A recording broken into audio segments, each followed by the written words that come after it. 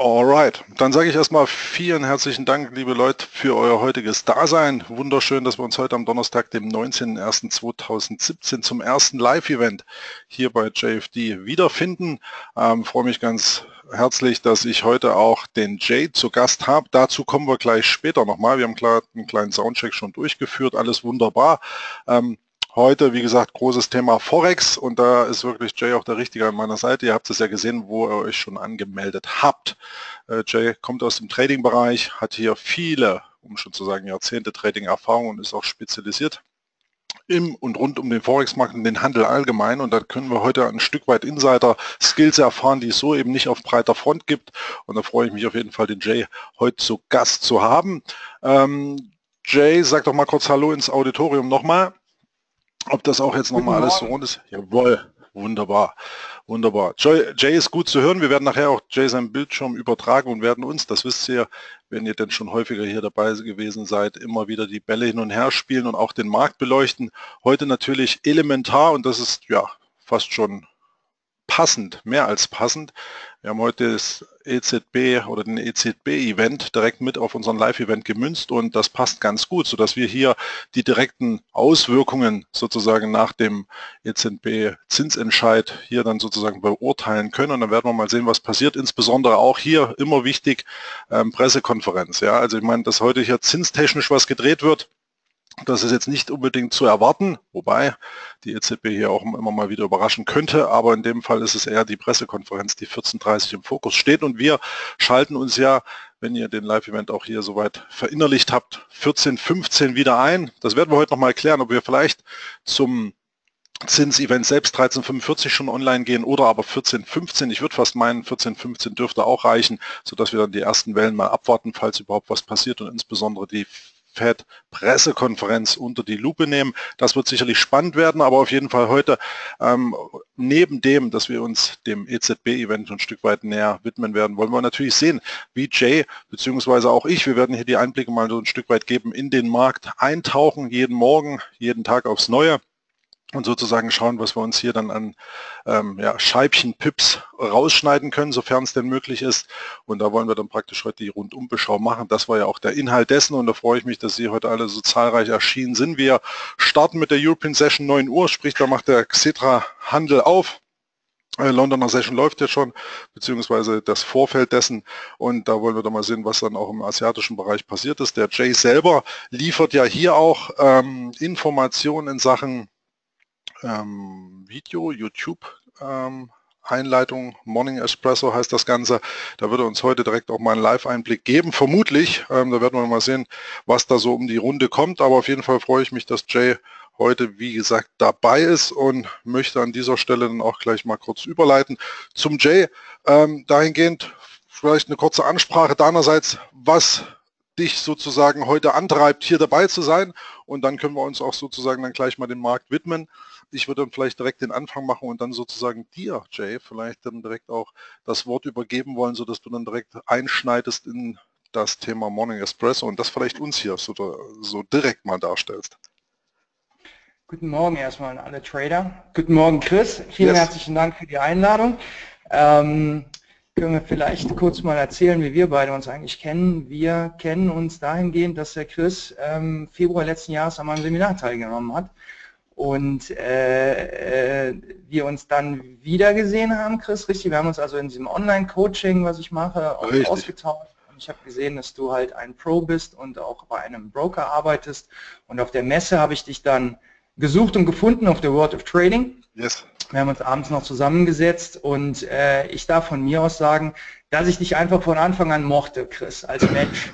Und, äh, Vielen Dank. Diese Industrie ist ja voll mit Bullshit-Leuten und äh, das ist das Schöne ähm, an unserem jetzigen Job ist, ähm, wenn du halt wirklich frei bist und unabhängig, dann brauchst du dir diesen ganzen, was ich immer Bullshit nenne, nicht geben. Ich entschuldige mich schon mal vorab, äh, wenn ich so rede, wie ich rede und das ist eben auch das Tolle, ich darf so sein, wie ich bin und das behalte ich mir auch bei und die Leute, die mit mir zusammenarbeiten und das Traden von mir erlernen, ähm, denen passt das auch. Ja. Und das ist auch ein wichtiger Punkt, den ich sagen möchte. Trading ist eine erlernbare Fähigkeit. Sie ist allerdings nicht meiner Erfahrung nach erlernbar, indem du autodidaktisch zehn Jahre lang rummachst.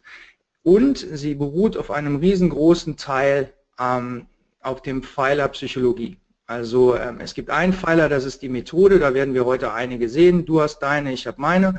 Äh, jeder Trader hat welche. Wir haben 20 Prozent ungefähr, es ist äh, Risikomanagement, das halte ich immer extrem simpel. Ein Prozent von deinem Risk Capital, nicht mehr, ähm, manchmal aber gerne weniger.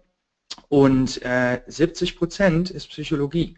Und was viele Leute nicht realisieren ist, äh, du hast Handelskapital und du hast aber auch, das kannst du dir vielleicht abstrakt bildlich vorstellen, psychologisches Kapital. Und dieses psychologische Kapital setzt du parallel ein, äh, wenn du Positionen im Markt fährst. Und äh, wenn du Verlierer hast oder Gewinner, macht das etwas mit dir psychologisch. Und dieses gilt es eben ähm, auch zu trainieren und darüber aufmerksam zu werden.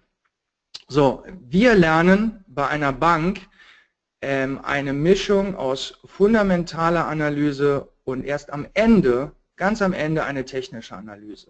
Und ich darf es auch schon mal direkt verraten, es gibt keine Indikatoren, die wir nutzen, es gibt kein Programm, was stets Geld macht das gibt es alles nicht. Ähm, bei der Bank unterscheidest du grundsätzlich zwischen den sogenannten Market Makern, das sind die Marktmacher, die dir über Geld und Briefkurse, die sie stellen müssen, Liquidität bereitstellen, dir als Kunde in dem Sinne.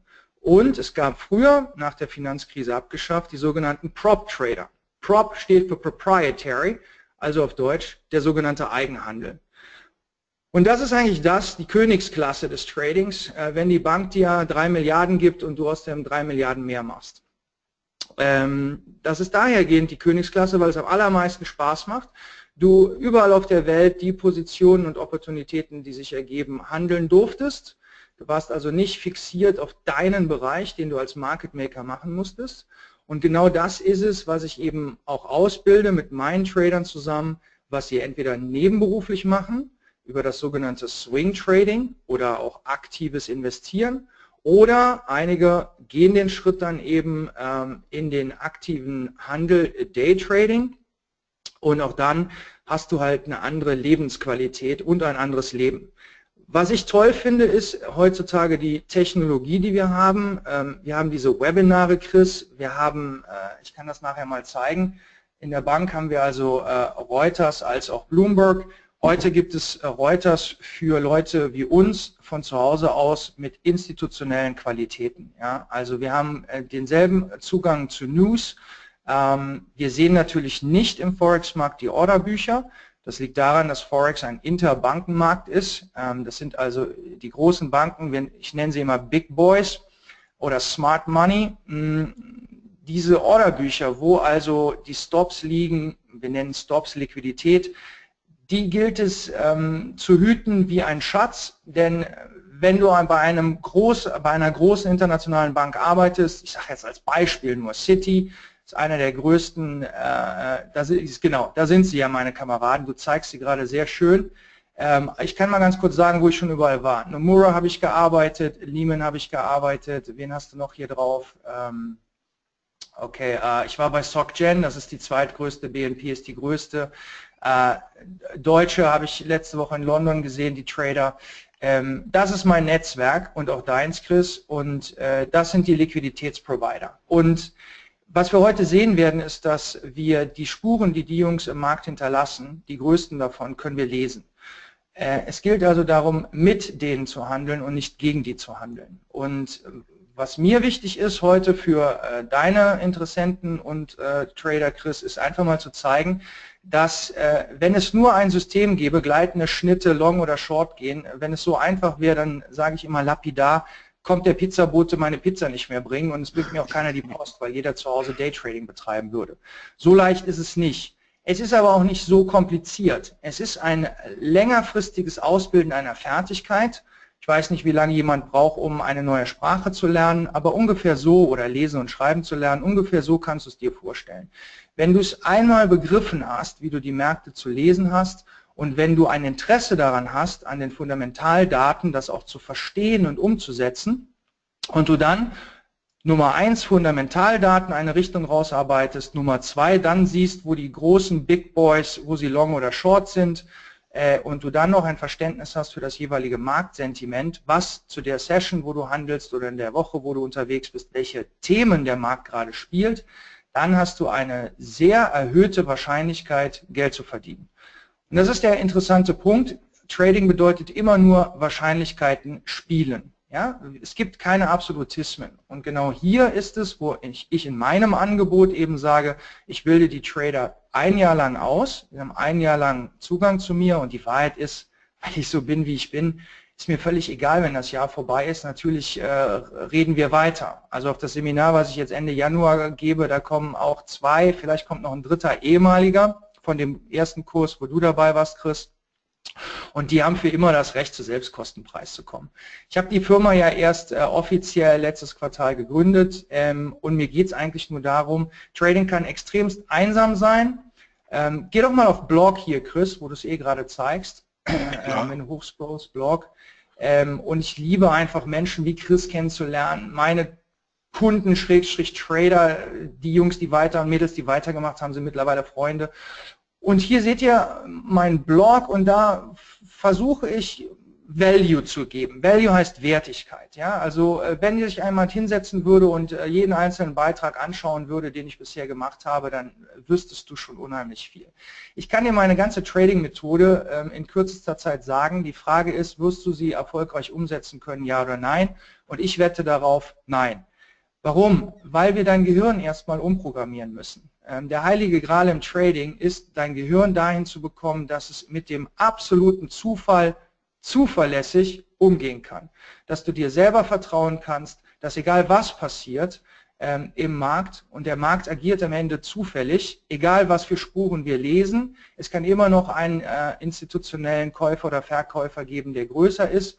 Am Ende des Tages ist es so, dass ein Professional bei einer Bank ein Hit-Ratio hat, also ein Gewinner zu Verlierer von 60 Prozent. Und wenn du dir das vorstellst, dann bedeutet das, dass du sechs von zehn Trades verlierst.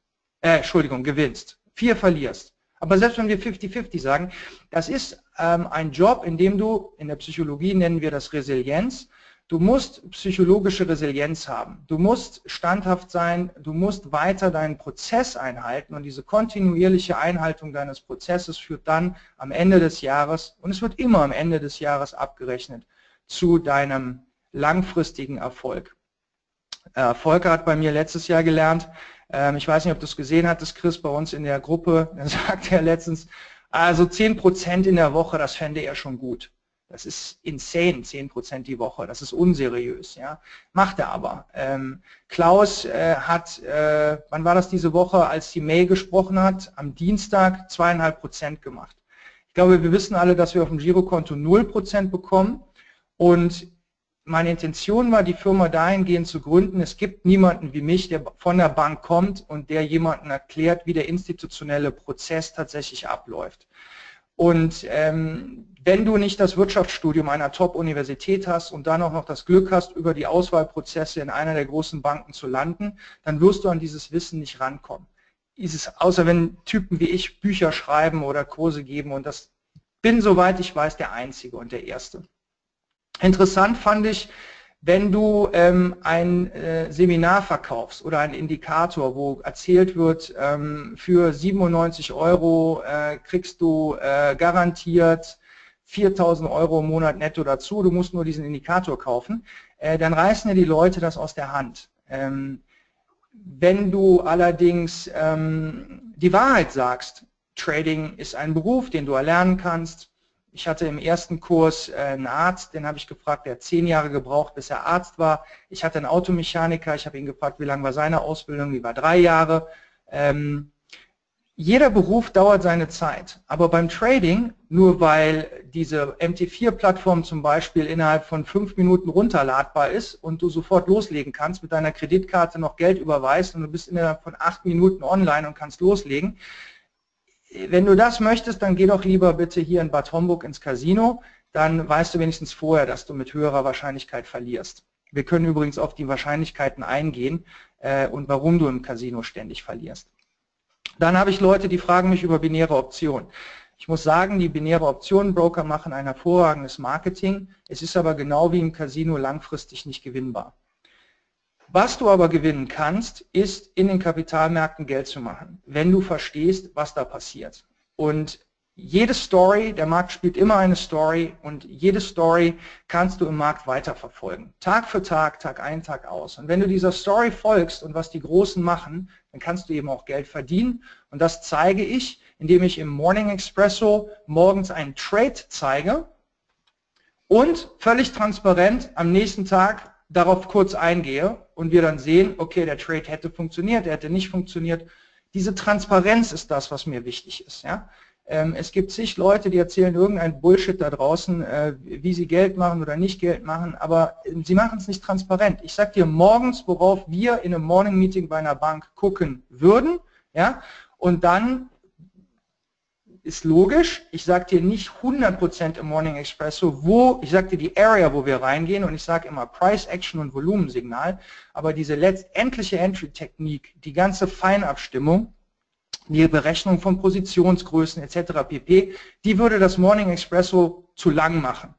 Ähm, und somit äh, äh, sage ich nur, hier ist der Trade. Wir können es ja zum Beispiel jetzt mal machen, aber ich wollte, weil ich jetzt bestimmt zehn Minuten geredet habe, erst nochmal das Wort an dich zurückgeben, Chris. Nicht, dass ich hier dreieinhalb Stunden am Stück rede und die Leute dann einschlafen. Um ja? Gottes Willen, Jay, um Gottes Willen. Nein, das war, pass auf, ich denke, also wie gesagt, sind, ich lese auch gerade ein, zwei Fragen. Übrigens, Klaus ist zugegen, Jay. Klaus ist zugegen. Hey, Servus, äh, grüß dich, mein Lieber. Servus. er hatte direkt sein, sein, sein äh, Statement hier reingehauen. Erstmal ganz ganz, ganz lieben Dank, dass auch Klaus da ist. Vielleicht auch. Ja leider nicht. Ach, schade. Na, Grüße an die Jungs, die, die meine Trader sind. Liebe genau. Gruß, Klaus. Dass du da bist. Und dich, Chris. danke, danke. Also wir wollen natürlich gleich mal durchstarten, Jay. Und wie gesagt, äh, ich denke, allein schon hier hat es jetzt erstmal schon mal viele Informationen gegeben, wo der ein, ein oder andere erstmal schlucken musste und erstmal zuhören musste, aber genau das ist ja der Kontext, worauf es ankommt.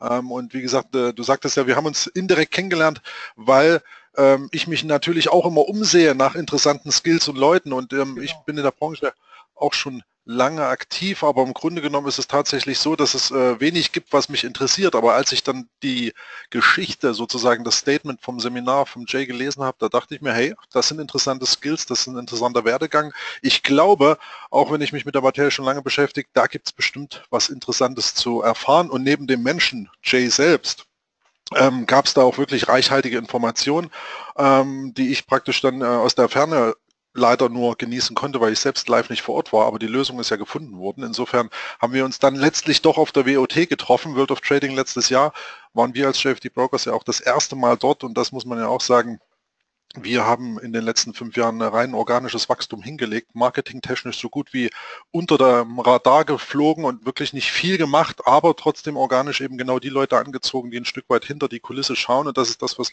Jay ja vorhin auch sagte. Ähm, wir folgen den Großen, wir handeln mit den Großen. Die Frage ist nur, handelt man wirklich mit den Großen? Und JFD Broker tut genau das. Ihr seht hier unseren Liquiditätspool plus noch diverse Hedgefonds wie Citadel zum Beispiel, die auch Liquidität im Forex-Markt stellen. Ich meine, milliardenschwere Hedgefonds beteiligen sich hier nicht minder am Liquiditätspool, am Interbankmarkt und versuchen da auch einzugreifen.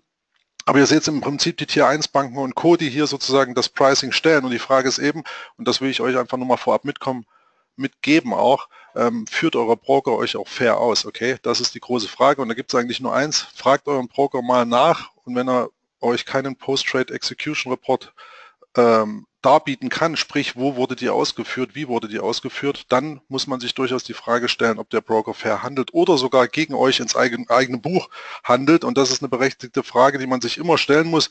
Deswegen ein bisschen Eigenwerbung sei erlaubt. Schaut euch den Artikel mal rein. Ich habe es direkt, ähm, oder besser gesagt, die Landingpage mit dem Artikel und dann geht es mal ein bisschen auf die kleinen Feinheiten ein, die dann meistens aber auch jeder Trader sich erst stellt, nachdem er viele, viele Erfahrungen gesammelt hat und irgendwann sich eben auch die Frage stellt, wo und wie werde ich überhaupt ausgeführt.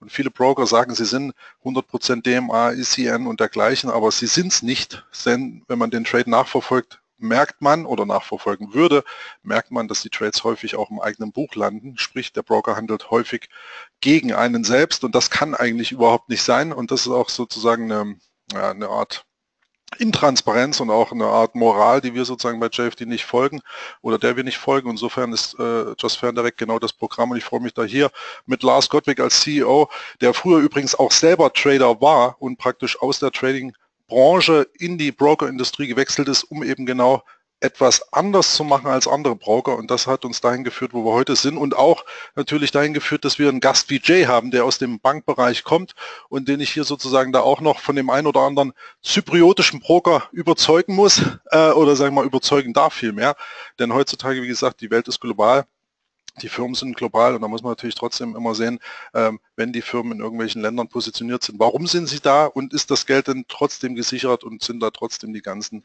ähm, Rahmenbedingungen so, dass auch ein Deutscher oder ein Engländer oder auch ein Franzose hier gut handeln kann. Und ja, die sind es bei JFD, es gab da immer wieder viele Diskussionen, ähm, was ich auch sagen darf, wir sind noch mit keiner Klage belastet und da muss man auch schauen, wie viele Broker haben schon diverse Handelsklagen in Sachen von Kundenmatching, ähm, in Sachen von Kundenhandel oder auch von Gegenpositionen oder auch von Bonuszahlungen, die übrigens jetzt auch mittlerweile immer mehr ausgedüngt werden. Sprich, sie zahlen 1000 Euro ein und kriegen vom Broker nochmal 1000 Euro Bonus drauf. Solche Aktionen sind alle ähm, mehr oder weniger eine riesen Marketing-Show, weil ihr könnt euch natürlich vorstellen, dass genau die Bonus 1000 Euro sicherlich wieder zehnfach verdient werden von einem Broker, sonst würde er das auch nicht machen. Also er schließlich ja, kein... Genau. Also die Statistik sagt äh, von den großen Brokern, dass ein Kunde, der einzahlt, im Schnitt 10.000 Euro wert ist. Genau. Das ist vor allen Dingen bei den Brokern so, ähm, die eben binäre Optionen äh, anbieten. Exakt. Ich hatte im Seminar zwei Teilnehmer, die tatsächlich an einen dieser Broker gelandet ist. Die haben sehr gute Sales-Leute, die am Telefon diese Menschen angerufen haben Absolut. und sie gequatscht haben, ähm, sehr hohe Beträge einzuzahlen, um quasi einen Private Banker an die Seite gestellt zu bekommen, der ihnen dann äh, die Trades sagt, die sie einnehmen müssen. Mhm. Naiv haben diese Menschen das getan und äh, die Kohle ist weg. Und wir reden von substanziellem Geld. Ähm, Absolut. Äh, Beträge über 25.000 Euro. Und das ist, ähm, mich wundert bei den gesamten Bankregulierungen, ähm, dass dieser Bereich, also genau dieser, wir nennen das in der Bank Retail-Bereich, Herr Müller, Frau Schmidt, du, ich, wenn wir von zu Hause aus traden, wir sind der Retail-Kunde, mhm. dass der nicht äh, sauberer reguliert ist. Äh, Absolut. Äh, eben weil ich Psycholo erkenne, äh, Psychologie erkenne. Ja? Die Menschen möchten gerne für nichts tun ähm, eine Veränderung in ihrem Leben haben das sehen wir ja auch jetzt auch im Januar, ja, die ersten zwei Januarwochen, mein Fitnessstudio ist voll ohne Ende. Ich gehe quasi fast jeden Tag trainieren. Ähm, und das wird sich jetzt wieder ausdünnen. Äh, die haben jetzt alle ein, zwei Jahre den Vertrag unterschrieben, gehen dreimal hin, gute Vorsätze und das war's. Denn etwas zu tun, sich zu verändern, Chris, das bedeutet immer Arbeit reinstecken. Und wir haben ja eben gesagt, der Klaus ist hier. Der Klaus hat im Februar meine Lernschritte bekommen, fünf Stück und hat die Eisenhart äh, sechs Monate lang durchgezogen, ohne nach rechts zu gucken, ohne nach links zu gucken. Ähm, ich habe die Jungs diese Woche noch gelobt. Klaus und Volker haben sich in unserer Gruppe über äh, äh, verschiedene Währungspaare unterhalten. Ich bin zutiefst stolz auf die. Äh, sie reden jetzt äh, wie Trader. Sie haben ein Verständnis, äh, wenn Sie kanadischer Dollar handeln, dann wissen Sie, dass gestern Nachmittag die Zinsentscheidung war. Sie haben immer ein Auge auf Öl, weil Sie wissen, ähm, das ist der höchste Export. Produkt, äh, höchster Anteil am Bruttosozialprodukt. Sie wissen, die hohe Korrelation besteht. Sie wissen, der größte Exportmarkt für Kanada ist die USA. Sie haben also auch ein Auge auf die Entwicklung der US-Volkswirtschaft als auch die Zinsschritte, die die Fed erwartet. Das sind alles Dinge, äh, die passieren nicht, wenn du für 97, 95 einen Indikator kaufst und der zeigt dir grün äh, Pfeil jetzt kaufen und rot jetzt verkaufen. Den könntest du sowieso nicht umsetzen psychologisch, weil du überhaupt kein Verständnis hast, wie der Algorithmus zu seinen Kauf- und Verkaufssignalen kommt. Aber die Marketing-Show, die abgezogen wird oder der Text, der geschrieben wird, ist so psychologisch geschrieben, dass er dich triggert. Du fängst an zu träumen und das ist psychologisch sehr interessant, Chris. Ich habe das in einem der Vorträge mal abgehandelt. Ähm, wir können süchtig danach werden, nach der uns vorgestellten Zukunft. Ähm, denn was wir uns in der Zukunft vorstellen, hat physiologisch und chemisch in unserem Körper jetzt, im Hier und Jetzt eine Reaktion. Ähm, und das bedeutet auch, äh, dass Leute irgendwie Unsummen ausgeben für ein Training oder ein Coaching oder irgendwas, ja, weil sie sich in dem Moment gut fühlen. In dem Moment sagen sie, wow, super, ich werde in Zukunft hier Millionen haben, Porsche fahren, was weiß ich, was auch immer das Marketing diesen Menschengehirn eingepflanzt hat, was angeblich wertvoll ist, ja, oder was erstrebenswert ist zu besitzen. Ähm, Die Realität ist dann eine andere. Du musst ebenso wie zum Beispiel der Klaus oder du hast es dir über Jahre angeeignet oder ich, ich mache es seit 21 Jahren, du musst Arbeit reinstecken für diese Veränderung. Aber bis du willst, ein halbes Jahr oder ein Jahr an dir zu arbeiten, um eine neue Fertigkeit zu erlernen, die danach dir eine neue finanzielle Zukunft darstellen kann, Übrigens, nicht jeder ist zum Trader geboren, ja, und nicht jeder zieht das auch durch, sich das anzueignen. Das ist nun mal Fakt.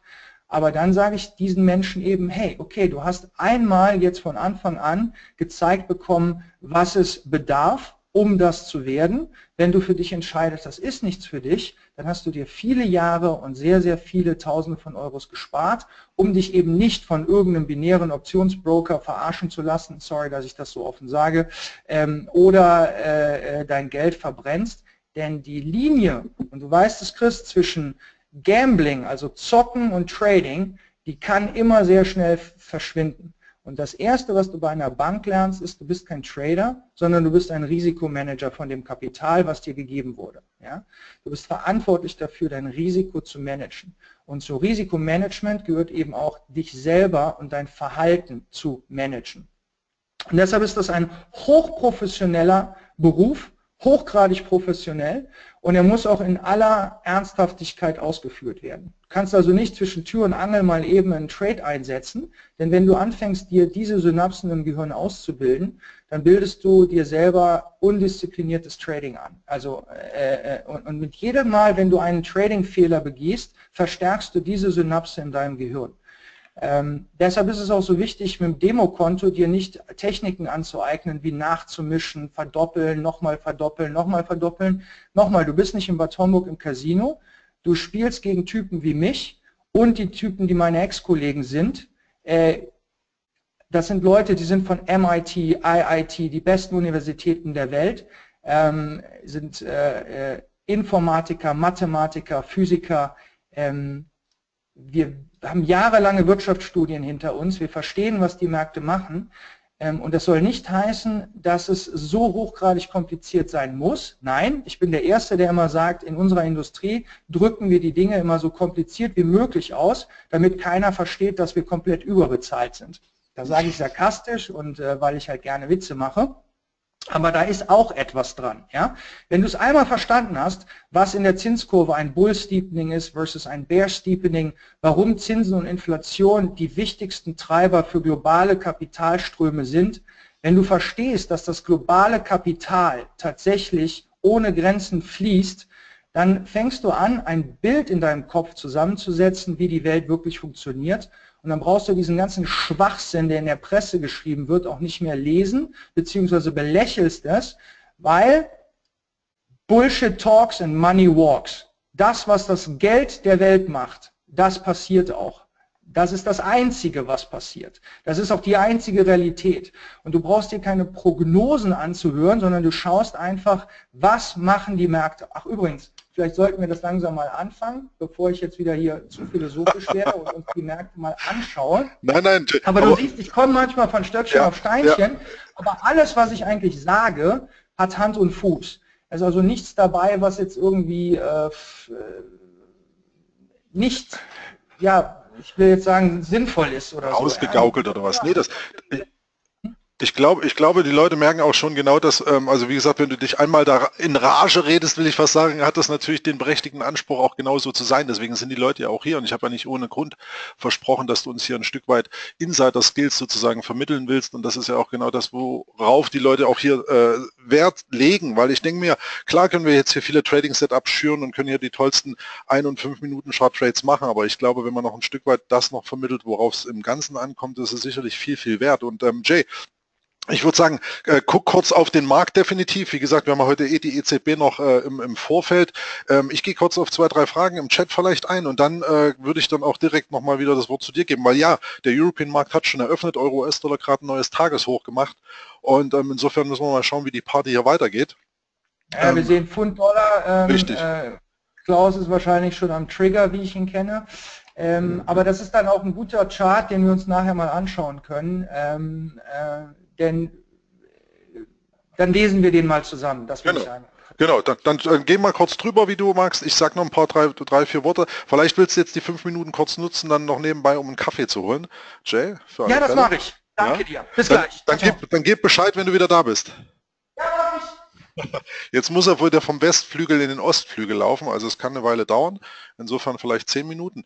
Aber ich gehe jetzt gerade noch mal auf die äh, Frage von, ähm, muss ich kurz den Chat durchleuchten, von Franz ein. Ähm, die sechs Währungspaare, die du wahrscheinlich hier gesehen hast, das sind im Prinzip einfach die, die wir hier sozusagen als auch meistgehandelste per Pass, äh, Währungspaare ansehen. Ähm, hier die Majors grundsätzlich vertreten, inklusive Euro-Britisch Pfund, was ja kein Major-Paar ist, weil hier der US-Dollar fehlt. Dennoch hier sitzt im Prinzip unsere Core-Spreads und eben hier diese Währungspaare, die sozusagen hier mit dem Live-Spreads versehen sind, weil diese generell unter einem PIP hier gehandelt werden. Und da auch nochmal die äh, Interaction an, an euch. Schaut mal, wie ihr in Sachen Pricing sozusagen ähm, dargestellt seid wenn ihr praktisch Währung handelt, sprich schaut mal auf den Spread. Hier seht ihr den durchschnittlichen Spread während des Zeitraums 9. bis 13. Januar. Aktualisieren wir jede Woche und hier den aktuellen Spread. Und ja, es gibt viele Broker, die hier einen Spread von 1,5 oder 2 Pips noch beim Euro-US-Dollar ansägen. Und da muss man sagen, das hat nichts mit dem Interbanken-Spread zu tun, also mit dem realen Spread, den wir hier bei JFD durchrouten. Insofern prüft euch, selbst prüft euren Broker und checkt einfach mal, welche Spreads ihr bekommt. Ähm, generell könnt ihr eine Spread-Übersicht auch bei uns auf der Startseite von anderen Währungspaaren, auch den Cross Rates, euch anschauen. Da haben wir hier oben praktisch auch nochmal so eine Live-Spread-Übersicht, die hier sich sekündlich aktualisiert. Und hier seht ihr noch ein paar Mehrwährungspaare inklusive. Und das ist mir sehr wichtig zu erwähnen, auch XAU US-Dollar. Das ist der Goldpreis. Und zwar am Spot-Interbankenmarkt und nicht irgendein Derivat oder irgendein hauseigenes CFD-Produkt. Äh, genauso wie XAC, also der Silberpreis, werdet ihr hier am Interbankenmarkt ausgeführt. Und da seht ihr auch entsprechend hier die Spreads, die Live-Spreads. Also wie gesagt, auf jeden Fall ein Blick wert, solltet ihr definitiv mal machen um auch für die Teilnehmer jetzt mal zu sprechen, die noch nicht bei JFD sind, ähm, da gibt es eigentlich nicht viele Varianten und insofern äh, prüft einfach mal, wohin die Reise gehen soll. Die Frage von Franz betraf aber die sechs Währungspaare. Nein, die habe ich nicht nur im Fokus, ich habe vielmehr die 28 im Fokus, die auch bei Jay im Seminar ein großes Thema waren, denn wir haben hier praktisch global sozusagen die Welt gecrossed, inklusive dessen, welche Währungsräume hier die große Rolle spielen. Ich meine, gut, der chinesische Yuan oder Renminbi wird sicherlich hier früher oder später auch nochmal eine Rolle spielen dürfen. Da werden wir dann nochmal Jay dazu befragen. Grundsätzlich aber hier die Währungspaare, die von Interesse sind, um vielleicht vorab auch direkt schon mal vorzuschicken, dass wenn man sich diese 28 Währungspaare, die sozusagen die Welt abbilden, mit dem Währungsgefüge ohne China wohl bemerkt, ohne Indien.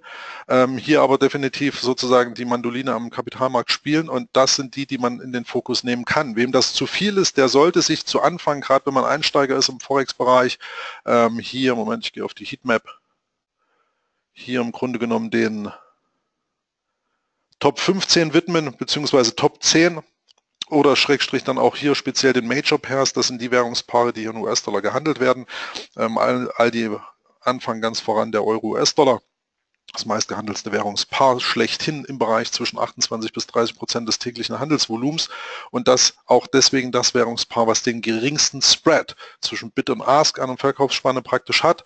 Seht ihr auch hier, wie gesagt, in der Übersicht, dass der Euro-US-Dollar hier mit einem durchschnittlichen Spread von 0,22 oder jetzt haben wir hier gerade 0,5 ähm, sozusagen daherkommt und dann hier letztlich äh, aufgrund des hohen Handelsvolumens auch den geringsten Spread aufweist.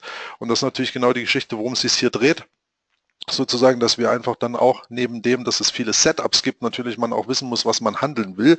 Und der Forex-Markt gibt da viele, viele Möglichkeiten. Ihr könntet theoretisch auch mexikanischer Pesos gegen türkische Lira zum Beispiel traden, macht aber keinen Sinn, weil das Handelsvolumen sehr, sehr gering ist und zumal das Spread mega ausgeufert und dann spricht man auch von Exotic Variance Pairs. Und deswegen hier der Hinweis, schaut euch die Major Pairs an und schaut euch hier im Groben gesprochen die äh, Top 28 der Welt an und dann könnt ihr praktisch sozusagen hier tägliche Setups finden, wie unter anderem auch von Jay vorhin uns schon angesprochen, von seinen Lehrlingen, von seinen Schülern, die mittlerweile da wirklich einen, einen, einen richtigen enormen Schub gemacht haben ich kenne jetzt die Kameraden leider nicht persönlich, das wird sich früher oder später sicherlich ändern, aber dass man da praktisch wirklich so einen Schub gemacht hat in der Entwicklung in der Kürze der Zeit, wo viele sicherlich Jahre für brauchen. Ähm, aber die Kameraden suchen, wie gesagt, hier diesen Währungsmarkt mit diesen Paaren durch und finden dann entsprechende Setups, die hier der Jay sozusagen dann immer mit seinen Skills filtert. Und wie gesagt, Methoden gibt es viele. Der eine oder andere wird wissen, dass ich das Rainbow Trading mag. Ich mag aber auch Momentum Trading und die Fuzzy Vector Logik.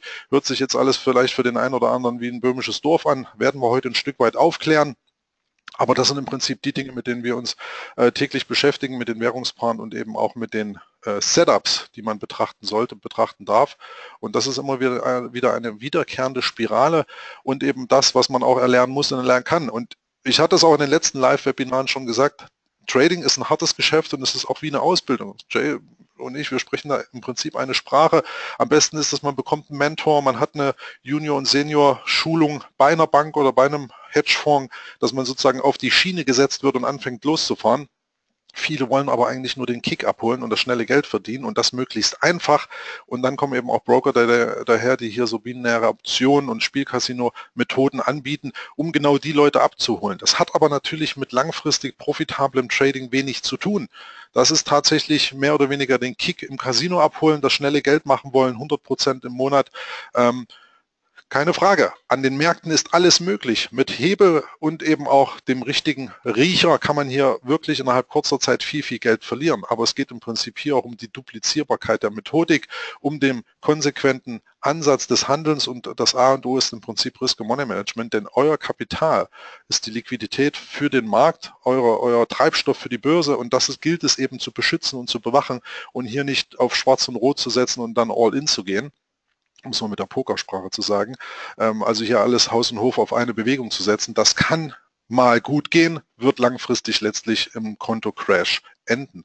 Und deswegen hier ganz wichtig, dass ihr euch immer wieder die Skills vornehmt, die es zu lernen gibt. Und wie gesagt, solche Live-Webinare, solche Live-Events, wie eben heute hier auch das ähm, jetzige mit Jay, ist eben genauso eine Art auch der Wissensvermittlung, die wir auch hier sozusagen nach vorne treiben wollen. Und neben dem, dass wir gleich mal auf den Markt live schauen wollen, ähm, hier nochmal, wie gesagt, die Lanze gebrochen.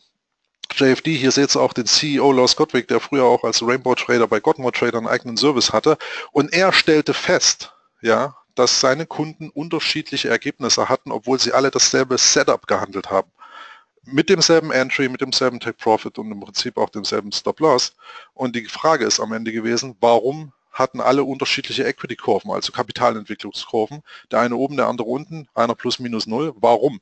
Die Frage lässt sich leicht beantworten. Der Hintergrund war der, dass sie alle unterschiedlich ausgeführt wurden. Dass es eben hier Markup-Spreads gab, das heißt, dass die Spreads, die hier sozusagen hier aus dem Interbankenmarkt kommen, aufgerissen wurden oder auch hier inkludiert mit gewissen Aufschlägen, wo der Broker praktisch hier immer noch eins oben drauf legt, um sich sozusagen eine goldene Nase zu verdienen und neben dem, dass er gegen den Kunden handelt, eben auch hier ein unfaires Pricing ausführt. Und das führte dann eben letztlich dazu, dass das Ganze hier sozusagen an der Zeit war, was anders zu machen und deswegen auch hier, Lars als Trader hat es sozusagen umgemünzt und hat sich jetzt hier dafür entschlossen, dann JFD auf den Kurs zu bringen und auch hier natürlich Kunden anzuziehen, die dauerhaft erfolgreich sein wollen. Also unser Ziel kann es nicht sein, sie einzuladen, wie Jay vorhin auch schon sagte, eine gewisse Einzahlungsgröße einzunehmen, die bei uns als Gewinn in die Bilanz zu verbuchen und dann dem Kunden Adieu zu sagen. Wir können eigentlich nur von euch partizipieren oder mit euch partizipieren, wenn ihr erfolgreich seid. Deswegen ist es uns ein Riesenanliegen, deswegen unterstützen wir auch sämtliche Algos oder EAs oder also EAs sind Expert Advisors für den MetaTrader ähm, programmierbare Handelssysteme, die auch meinetwegen im kurzfristigen Scalping-Bereich arbeiten können und viele Broker wollen das gar nicht haben, weil diese eben einerseits dann auch durchaus mal Geld verdienen können und das gar nicht im Interesse des Brokers ist, wenn er sozusagen dann auch Händler gegen den äh, EA ansetzen muss oder Algus gegen Algus antreten muss. Wie auch immer, wir sind offen, wir wollen eigentlich nur, dass ihr gewinnt und deswegen ist es auch so, dass ähm, wir auch hier mit der Education, mit dem was wir uns heute von Jay noch sozusagen vermitteln lassen werden, euch natürlich ein Stück weit erfolgreicher machen wollen. Und darum geht es in der Konsequenz. Ich denke, Jay hat seinen Kaffee schon geholt. Ich, wie gesagt, habe meinen Espresso ähm, morgen auch schon gezogen und habe ähm, hier vielleicht eine Methodik, ähm, auf die ich dann nochmal eingehen kann gleich. Also ich will äh, euch mal zeigen, warte mal, habe ich hier meinen Trading Desk. Also ich könnte mal meine Kamera einschalten, dann seht ihr das auch gleich, beziehungsweise ich zeige euch erstmal ein Bild. Äh, man braucht keine 5000 Bildschirme. Ich weiß nicht, äh, Jay, mit wie viel arbeitest du? Ich habe sechs Bildschirme in meinem Büro. Ich habe acht. Du hast acht. Das ist natürlich killermäßig. Also ich habe neun, weil ich natürlich noch einen Backup-Laptop neben mir habe. Alles schon passiert. IT, äh, Computer Crash, das Position offen und ich habe mein Smartphone hier liegen, wo die Kurzwahltaste fürs Dealing Desk vom Broker drauf programmiert oh, ist. Da sprichst du Dazu muss man sagen, ich war ähm, acht Jahre lang Soldat, davon sechs Jahre in den USA und ich bin so ausgebildet worden, dass wir nur im Team funktionieren und dass wir immer sogenannte Redundancies haben. Also ich springe auch als Freifaller immer mit einem Reservefallschirm und so habe ich nie mein ganzes Kapital bei einem Broker. Ähm, alles Dinge, die ich auch in meiner Ausbildung anspreche, ähm, die aber logisch sind. Alles, was wir hier machen, ist logisch. Ja? Richtig, du musst die Spielregeln nur einmal erklärt bekommen und dann obliegt es dir, ob du eben auch in der Lage bist, Spielregeln zu befolgen. Und ähm, in der späteren Entwicklung sehen wir dann oft, äh, dass es psychologische Hindernisse gibt, ähm, die dann aber tatsächlich nichts mehr mit der Technik des Tradings oder den Spielregeln zu tun haben, sondern äh, begründet liegen in sogenannten Glaubenssätzen. Das sind dann psychologische, ich nenne es oft salopp Programmierungen. Äh, dann kommen eben Verhaltensweisen und Verhaltensmuster ans Tage, die den langfristigen Erfolg verhindern. Und da geht es um die Wertigkeit. Ist ein Mensch sich diesen Erfolg wert? Weil viele glauben und träumen davon, von zu Hause aus zu handeln. Wenige überlegen aber, was macht denn das mit mir langfristig? Ja? Was mhm. ist denn, wenn ich auf einmal Zeit habe? Ich sehe es ja bei mir auch. Ja? Also ich gehe äh, völlig frei, ich mache die London Session und dann, ähm, ich habe ja auch diese Firma gegründet, damit ich nicht total vereinsame. Und äh, meine Buddies sind im Fitnessstudio. Ähm, äh, weiß nicht, was die für dubiose Geschichten machen, aber letztens fragt mich einer, was machst du eigentlich? Weil du kommst jeden Tag hier im Jogginganzug mittags rein und dann sage ich, ich bin Trader. Und dann sagt er, das habe ich mir schon gedacht. Keine Ahnung, warum man sich das denkt, aber das ist halt einfach super. Ja. Gestern war schönes Wetter, dann bin ich im Kurpark nochmal spazieren gegangen, ähm, weil der Markt war gestern uneinheitlich. Das ist auch etwas, unterscheidet Profis von ähm, noch nicht so weit fortgeschrittenen Tradern in ihrer Evolution. Wir können die Märkte lesen und wenn nichts zu tun ist, und das ist ja das Tolle, wenn du eben nicht mehr bei einer Bank an den sogenannten Desk, an den Tisch gefesselt bist, ähm, dann brauchst du auch nicht darum sitzen. Es ist halt nichts zu tun. Es geht nicht darum, jeden Tag zu traden. Es geht darum, die Opportunitäten, die die höchste mathematische Wahrscheinlichkeit dir bieten, um Geld zu verdienen, zu nehmen. Und dann trotzdem damit okay zu sein, wenn dieser Trade nicht aufgeht. Weil der nächste Trade kommt bestimmt. Ja, äh, der Markt ist jeden Tag da und es gibt jede Woche Opportunitäten, Geld zu verdienen, aber auch Geld zu verlieren. Wichtig ist dann, können wir nachher darauf eingehen, dass dein durchschnittlicher Gewinner ist größer als dein durchschnittlicher Verlierer. Ja. Alles genau. Kleinigkeiten. Aber lass uns doch mal auf den Markt schauen, wenn du möchtest. Genau. Noch mal den Screen. Genau, ich gebe dir gleich mal den Screen rüber, aber wie gesagt, ähm, Harald, kurz, äh, ja, wir haben auch äh, Kameraden aus der Schweiz an dieser Grüße, oh. an dieser Stelle, ähm, Österreich auch zugegen. Ich sage erstmal herzlich willkommen auch an alle, die sozusagen außerhalb der deutschen Grenze hier Zuschauer sind. Ähm, Österreich ist da ohnehin sehr affin, freue ich mich auf jeden Fall, dass ihr so zahlreich dabei seid. Der Raum bricht auch aus allen Nähten, ähm, ist voll, ähm, insofern wunder, wunderbar. Ähm, Harald, wie gesagt, die Fragen der Zuschauer können wir hier sozusagen nicht jetzt äh, transparent darstellen, weil das, wie gesagt, immer nur der Moderator sieht. Also nicht jeder Teilnehmer, kann, oder wenn es gehen würde, müsste ich mich damit auseinandersetzen. Zumindest habe ich das noch nie gesehen, dass die Fragen äh, öffentlich sind. Ich meine doch, es gibt irgendwo eine Funktion dafür, ähm, aber wir lesen das auch hier ganz transparent vor, was da hier für Fragen kommen. Da haben wir auch keine Geheimnisse. Äh, ich und Jay schon mal gar nicht. Deswegen ähm, gebe ich dann gleich mal den Bildschirm an Des, ich, äh, an Des schon, an Jay rüber.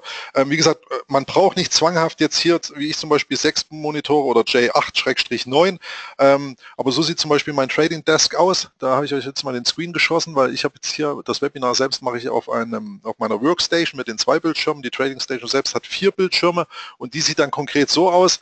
Ähm, einfach nur mal einen Überblick zu gewinnen, was ich hier täglich an meinem Auge äh, sozusagen vorbeiflimmern sehe. Und hier links unten seht ihr praktisch das, was äh, Jay, ähm, ich hatte früher eine andere Indikation für die Währungsstärke. Ähm, der, also es war eine Indikation, die sich mehr auf Indikatoren zog. Das hängt hier mit dem linken Kasten ein Stück weit zusammen. Ähm, und das hier unten, das habe ich praktisch von Jay adaptiert. Das ist sozusagen ja, die, die, der Währungsstrom der acht großen globalen Währungen in verschiedenen Timeframes. Und das ist eine ganz, ganz feine Geschichte, die ich hier tatsächlich auch durch Seminar und allein deswegen hat es sich schon gelohnt, neben den zusätzlichen Skills und neben der herausragenden Bekanntschaft mit Jay, ähm, hier dieses Tool auch dann sozusagen adaptieren zu können. Und das hat auf jeden Fall auch einen, einen, einen, einen Punkt ähm, gebracht, ähm, der sozusagen auch wieder ein neues Level in der Betrachtung der Märkte sozusagen hat äh, zum Hervorschein bringen lassen. Und genau damit arbeiten zum Beispiel die Kameraden von Jay wie der Klaus, der wie gesagt ja heute auch zu Gast ist und sicherlich auch schon den einen oder anderen Trade möglicherweise abgefeuert hat. Aber wir wollen jetzt erstmal gar nicht so viel weiter hier in der Theorie und mit den wilden Bildern verlieren, ähm, wobei wir noch hunderte Punkte haben, die wir besprechen können. Ich würde aber definitiv... Ach, endlos. endlos, ja. das glaube ich ganz sicher, Jay. Also ich glaube, wir zwei... Grade, ja. Ich habe gerade Gänsehaut bekommen, als ich ähm, unser, unseren Setup da unten links gesehen habe. Das ehrt mich sehr, Chris. Das freut mich wirklich, ähm, ja, ja, dass, ja. du das übernommen hast und dass du das nutzt und dass dir das hilft. Und äh, die Herausforderung war für mich, ich musste ja erstmal diesen ganzen MT4-Mist kennenlernen, weil das natürlich niemand bei einer Bank benutzt. Mhm. Und dann musste ich irgendwas entwickeln, womit jemand in Bildern sehen kann, was an den Märkten passiert. Weil wenn ich jetzt jemand sage, du brauchst acht Bildschirme, um die 28 Währungspaare parallel anzugucken, dann äh, schaltet jeder sofort ab. Wir haben ja gesagt, die Leute wollen eine Lösung, die wollen sie sofort und die muss automatisch die zum Millionär machen. Mhm. Und wie kann man irgendwie was entwickeln, habe ich mir gedacht, was zumindest mal die Zinsströme darstellt und äh, die, die Cashflows darstellt, Stärke gegen Schwäche in den einzelnen Währungen. Und ich habe äh, äh, über einen Online-Search einen russischen Programmierer gefunden und dem meine Problematik ähm, dargelegt und der hat mir das programmiert, so eben für MT4, dass das jeder nutzen kann. Alle im Seminar haben das. Das allein, das allein ist quasi extremst wertvoll, weil es wird da draußen ausgebildet und nochmal, ich versuche das nur faktisch zu beschreiben, ich werte das nicht, aber das ist absoluter Unfug. Es wird ausgebildet Ah, du solltest hier nur einen Chart angucken, ein Währungspaar und das wirklich richtig gut kennen. Äh, nimm am besten Euro-Dollar, das ist am liquidesten und das ist der Spread am geringsten. Was ist das für ein Unfug, wenn du im Euro-Dollar jeden Tag drauf starrst, aber die Opportunität gar nicht im Euro-Dollar ist? Ja? Ähm, das habe ich nie verstanden. So würde keine Bank handeln. Wir setzen ja nicht einen Mann dahin oder eine Frau, nur um Euro-Dollar zu handeln. Äh, wir müssen ja Geld verdienen und nicht, äh, also egal ich will nicht wieder abweichen. Dieses Ding äh, zeigt dir an, auf verschiedenen Zeitebenen, ich zeige es mal ganz kurz, wenn genau. du mir den Screen gibst. Pass auf, ich gebe dir direkt den Screen. Hm. Genau. Müssten mal gucken, jetzt müsstest du eine Anfrage erhalten. Timer, Attendance, Attentive. Okay, gut. Scheint wohl, ja. Uh, show my screen. Also du bist jetzt auch Organisator mit dabei? Der hier, okay, super, klasse. Dann habe ich den Screen und Exakt. hier ist unser Indikator. Bitte nicht falsch verstehen, es ist kein Indikator, der dir sagt Buy, Sell oder sonst irgendwas. Es ist eine, ähm, warte, hier. Es ist nur eine Darstellung von ähm, den Märkten. Okay, ach, das wollte ich verhindern. So, jetzt hat. Also, hier ist die letzte Stunde, hier sind die letzten acht Stunden, sozusagen die letzte Session dann. Ähm, ja, okay, don't show again, sorry. Ähm, hier ist äh, die letzten fünf Tage, hier sind die letzten 30 Tage. Hier oben siehst du einen äh, Farbcode, Dollar, Euro, Pfund, Aussie, äh, Kiwi, Swissy, äh, Luni und äh, Yenny. Yen. Und ähm, was er uns anzeigt ist, gehen wir auf die 30 Tage, was ist in den letzten 30 Handelstagen denn passiert? Und das ist Echtzeit, das kalkuliert er immer in Echtzeit. Diese acht Währungen, für die, die halt ein bisschen neuer sind, nennen wir die acht größten Währungen, auf Englisch die Majors. Das sind die Majors. Und äh, anders als wenn du jetzt zum Beispiel eine Apple-Aktie handelst, äh, dann schaust du dir einen Graph an von Apple und äh, das ist der gesamte Apple-Markt. Ja? Es gibt keinen anderen Markt. Währungen sind ein bisschen anders. Wir handeln als bei der Bank handeln wir Währungen, wir handeln kein Währungspaar. Ich sage den Satz nochmal, wir handeln Währungen, wir handeln kein Währungspaar. Und eine Währung, bildlich dargestellt, kannst du dir vorstellen, als wäre es eine Aktie. Also nehmen wir zum Beispiel mal das britische Pfund und sagen, das britische Pfund ist eine Aktie auf die Volkswirtschaft von Großbritannien. Und wenn wir der Meinung sind, dass durch den Brexit diese Volkswirtschaft leiden wird, dann ist es ja klar, dass der Aktienkurs fällt. Und das macht das britische Pfund, es wertet ab.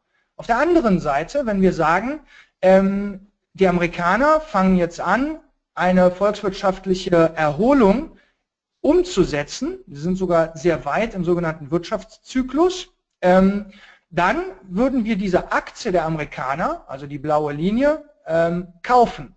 Denn eine höhere Volkswirtschaft würde ja bedeuten, die Aktie steigt, im Umkehrschluss oder in meinem bildlichen äh, äh, Example dargestellt, die Währung steigt. Und so ist es, dass du über diesen Indikator in Echtzeit genau siehst, wie verhält sich jetzt das britische Pfund gegenüber den anderen sieben Majors. Weil ich als Bank, als ehemaliger Prop-Trader kann ja hingehen und sagen, ja, ich möchte gerne das Pfund shorten. Aber ich habe ja jetzt verschiedenste Möglichkeiten, das Pfund zu shorten. Ich kann es gegen kanadischen Dollar shorten, gegen US-Dollar. Im Grunde kann ich es gegen alles Mögliche shorten, bei frei gehandelten Währungen. Aber um eben Anfängern oder äh, noch nicht so fortgeschrittenen ähm, Tradern den Währungsmarkt beizubringen, habe ich diesen Indikator entwickeln lassen, denn er zeigt uns an, welche Währung wird stark oder ist stark und wird stärker relativ zu den anderen sieben und welche Währung ist schwach und wird schwächer relativ zu den anderen sieben. Und im Seminar habe ich lapidar äh, als Eselsbrücke gesagt, wir suchen immer das Alligatormaul. Wenn sich dieses Maul aufreißt, dann haben wir im übertragenen Sinne im Chart einen Ausbruch. Ja? Also hier sehen wir zum Beispiel, das ist Neuseeland-Dollar und das ist der kanadische Dollar. Ähm, und wenn wir uns, ich versuche es mal ganz kurz anzuklicken, ich habe so viele äh, verschiedene Demo-Plattformen offen, dann brauche ich nicht immer hin und her. Ähm, Kiwi gegen Kann-Dollar.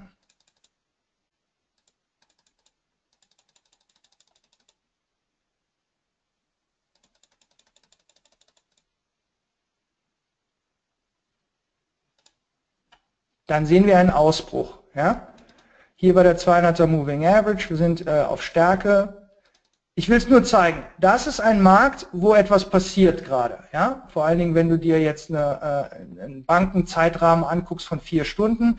Wir sind also in den letzten acht Stunden nach oben hin ausgebrochen und genau das hat uns der Indikator auch angezeigt, was ist in den letzten acht Stunden passiert, Neuseeland gegen kanadischer Dollar.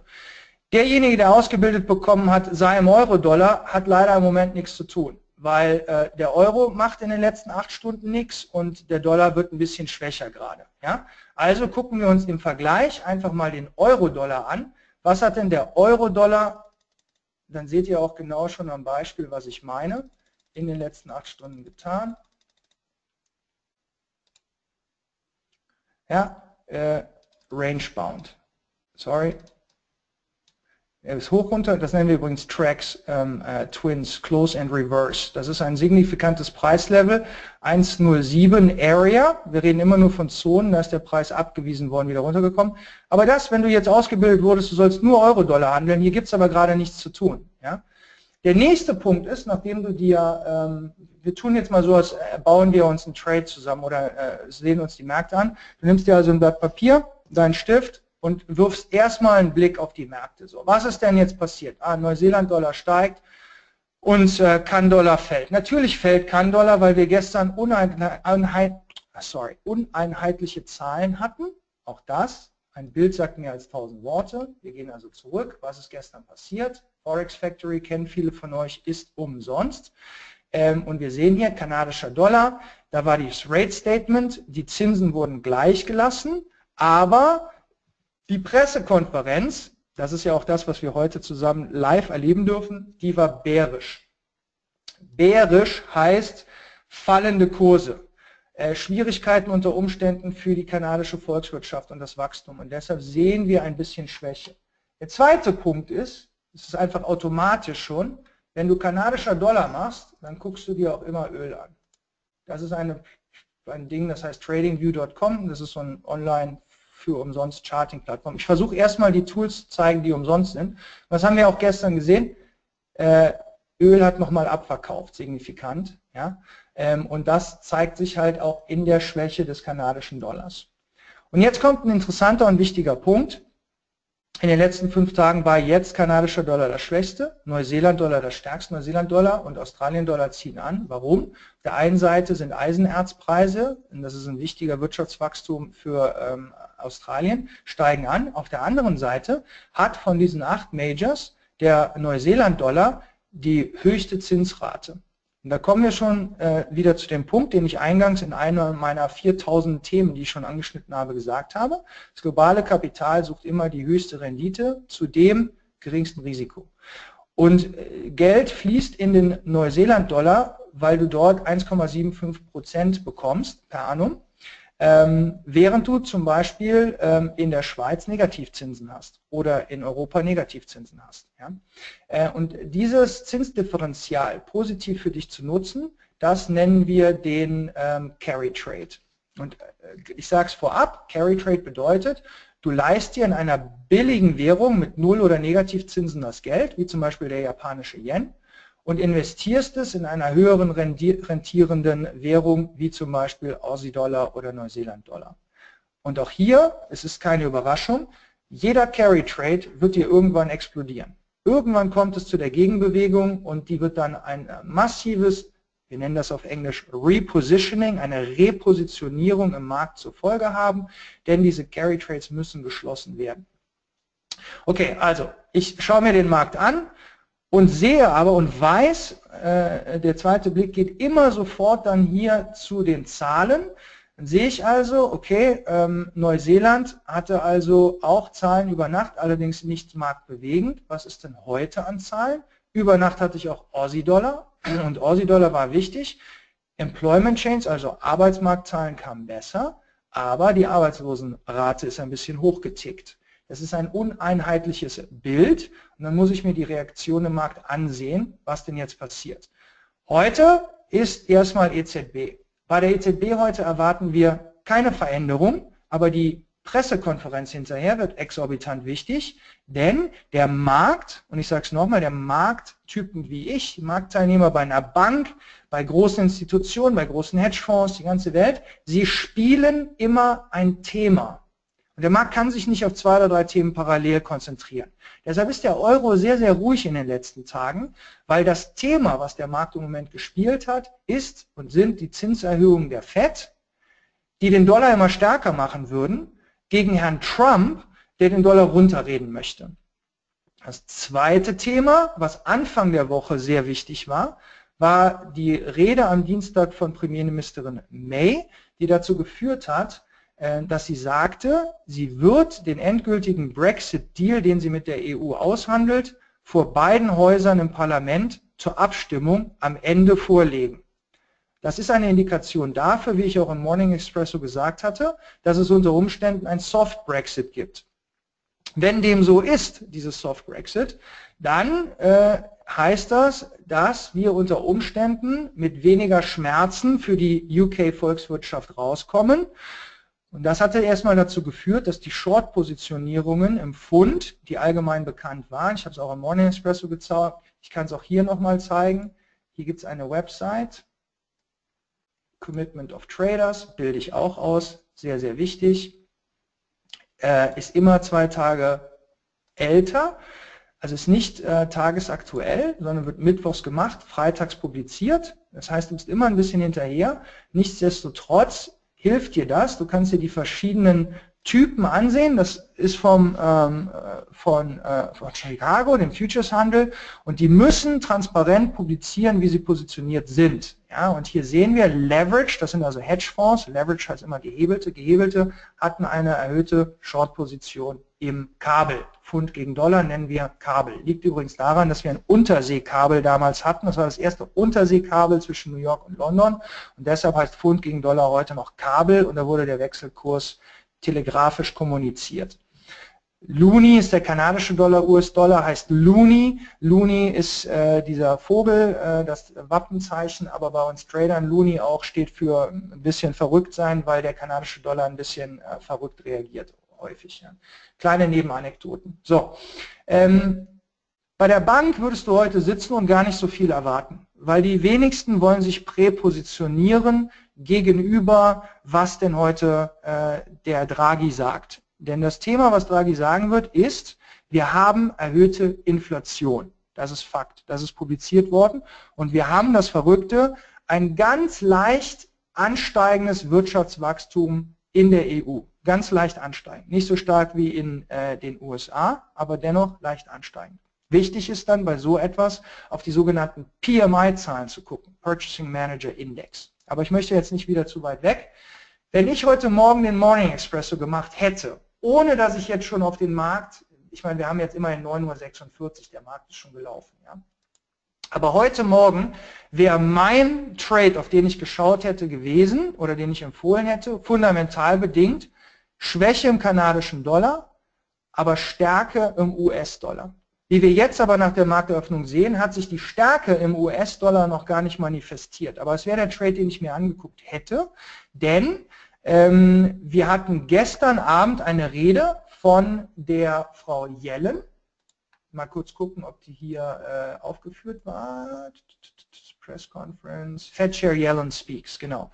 Und Frau Yellen, und das ist das Interessante und das Wichtige, sagte eben, sie möchte gerne äh, frequentiert die Rate-Zyklen anziehen, also frequentiert die Rates anziehen, mehrere Zinsschritte pro Jahr durchführen äh, und das hat sofort dann wieder zu einer etwas bullischen Reaktion in diesen Dollar-Pairs geführt. Das würde ich mir jetzt normalerweise mit 28 Pairs anschauen, jedes einzelne Paar. Und äh, Chris, ich muss dich ganz kurz fragen, dürfen wir das einmal ganz kurz durchgehen? Oder dauert dir das zu lange? Nee, grundsätzlich ist das überhaupt kein Problem. Die Teilnehmer, wie gesagt, haben auch zwei, drei, vier Fragen noch, ob man das Tool kaufen kann, Jay.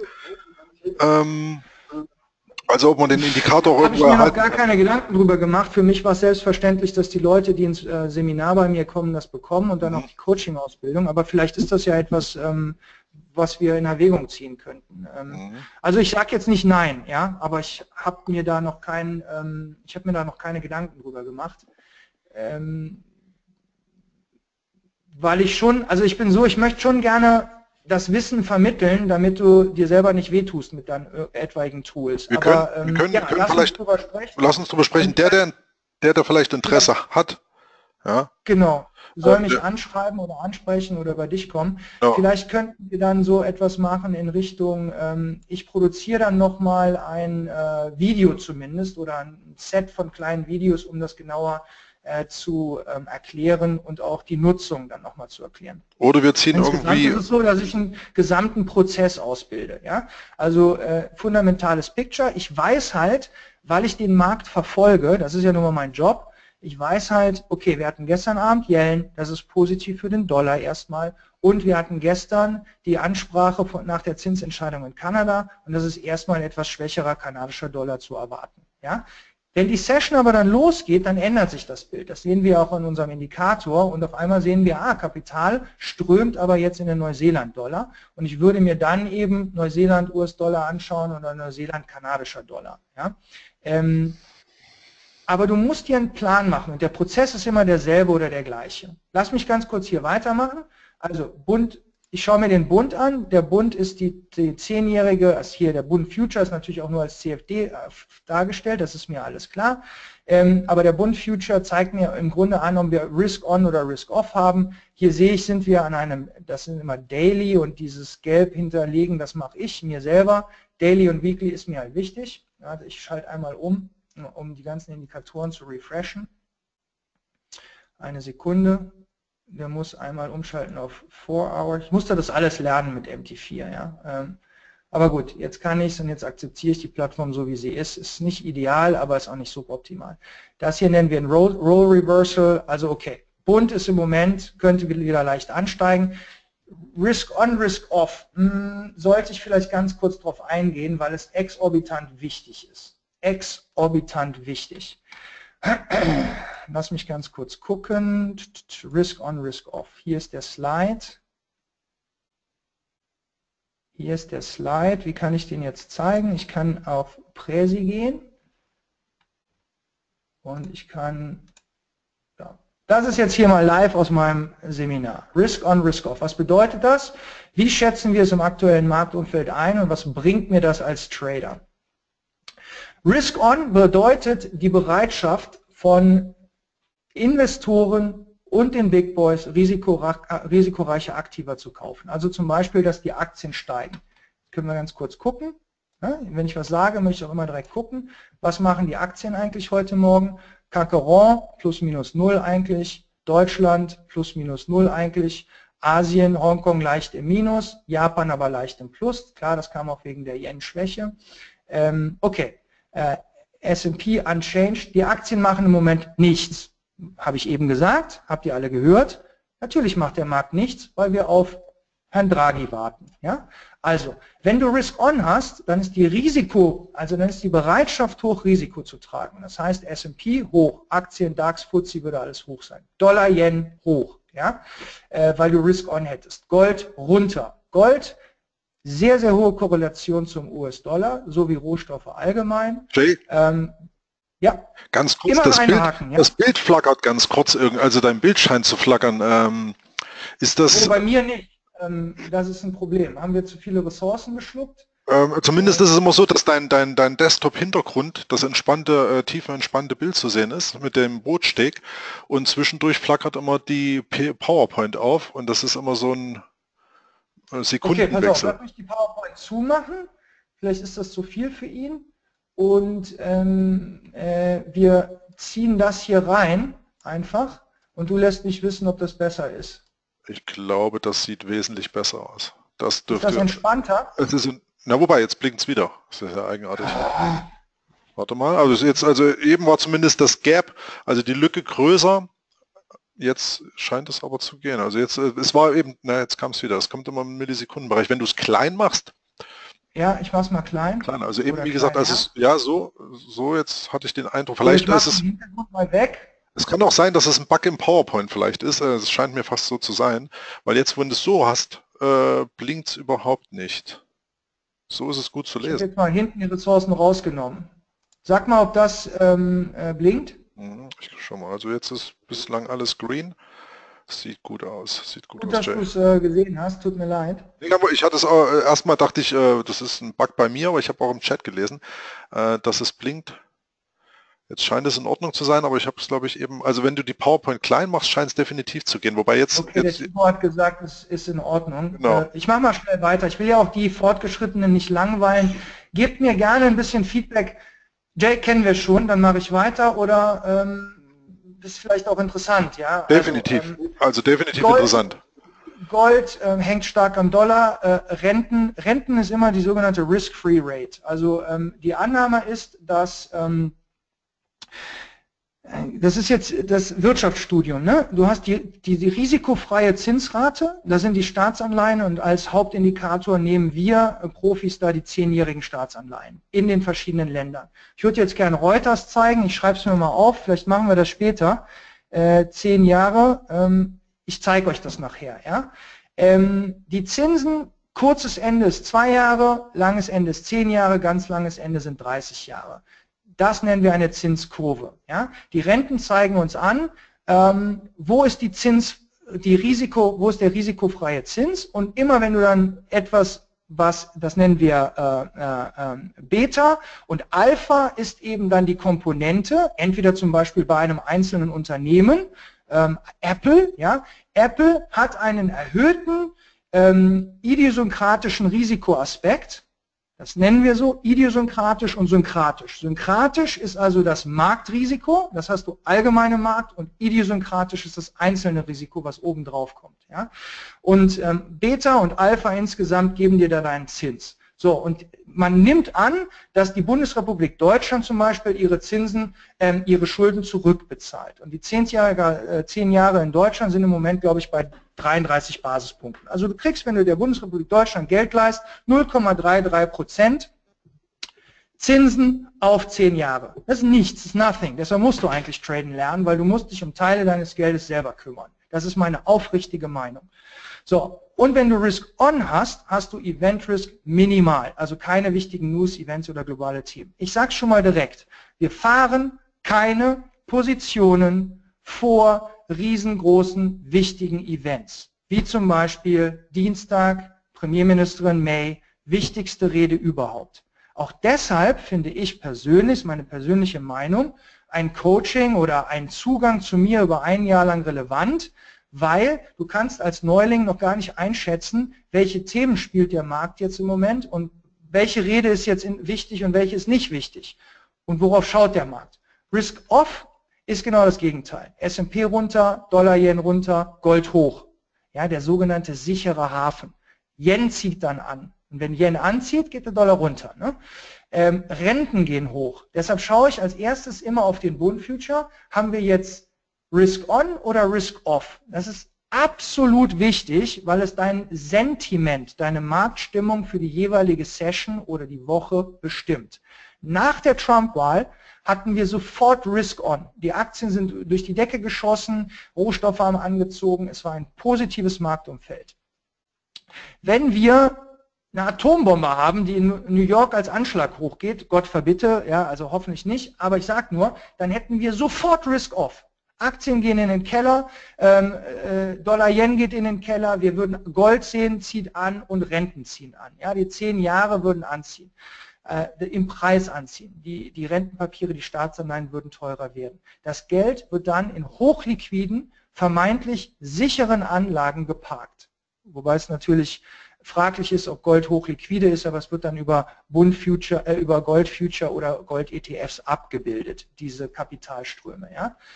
Event Risk ist hoch. Jetzt hatten wir ja in den letzten Jahren das sogenannte quantitative Easing, also Zentralbanken, die die Geldmenge erhöht haben und selber Anleihen angekauft haben. Ich sage das nochmal für diejenigen, die das nicht kennen, was das für eine absurde Welt ist, in der wir leben. Die Amerikaner drucken sich selber Geld und leihen es sich selber. Das bedeutet quantitatives Easing. Die haben das eingestellt und reduziert. Wir, das ist eben das Thema heute Nachmittag, wird aufgrund der ansteigenden Inflation, genau, QE steht für quantitatives Easing.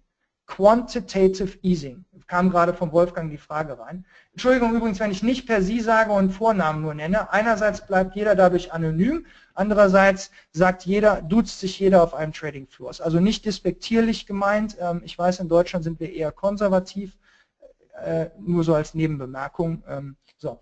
Ähm, wo war ich? Habe den Faden verloren. Quant Easing, genau richtig. Ähm, äh, Danke sehr, Tibor. Also, Quant-Easing Trade ähm, bedeutet, die, wenn eine Zentralbank des jeweiligen Landes die eigenen Staatsanleihen ankauft. Ja? Also du kaufst deine eigenen Schulden an. Das bedeutet quantitatives Easing. Wir haben das in Europa äh, riesig groß. Am besten, ihr werdet mit mir äh, äh Freundschaftsanfrage auf Facebook, Jay Medro, weil ähm, ich hau manchmal so Sachen raus, die interessieren keinen, außer Leute, die halt Interesse an den Märkten haben. Ein Freund, mit dem ich zusammen in Washington stationiert war, hat mir die Tage eine Frage gestellt, ob der Euro auseinanderbricht oder nicht. Und ich habe dann einfach mal ein paar Paragraphen dazu geschrieben. Er hat das später geteilt. Er fand das hochgradig interessant. Ich vergesse häufig, dass die Welt da draußen überhaupt nicht realisiert, was hier passiert. Den Menschen fehlt die Finanzausbildung. Ja, ähm, es ist absurd, was wir in den Schulen ausbilden, allen möglichen Mist, aber eben nicht, wie die Welt wirklich funktioniert im Sinne von Geld. Okay, quantitatives Easing, Zentralbanken kaufen ihre eigenen Staatsschulden an, in Europa wird das hochgradig gemacht. Das Problem ist, das ist eine Verzerrung von Risiko. Italien ist eine Volkswirtschaft, die ist, jetzt hätte ich wieder fast geflucht, schwer angeschossen. Aber sie leihen sich für unter 2% für 10 Jahre lang Geld bei Kapitalmarktanlegern. Das ist lächerlich. Das ist ein künstlicher Preis, weil der größte Käufer der Erde, in dem Fall die Zentralbank von Europa selber, Staatsschulden von Italien ankauft und hohe Nachfrage bedeutet hoher Preis. Hoher Preis in Staatsschulden bedeutet niedrige Zinsen. Das liegt an der sogenannten Bondformel, also an der Rentenpapierformel. Ähm, ich gehe jetzt nicht auf die Finanzmathematik ein. Merkt euch einfach für jetzt, wenn Staatsanleihen im Preis steigen, bedeutet das niedrigere Zinsen. Wenn Staatsanleihen im Preis fallen, bedeutet das höhere Zinsen. Jetzt versuchen wir direkt gemeinsam die Transferleistung zu machen. Wenn Staatsanleihen fallen, Staatsanleihen gehen runter, haben wir dann Risk on oder Risk off? Vielleicht möchte mir einer das mal sagen.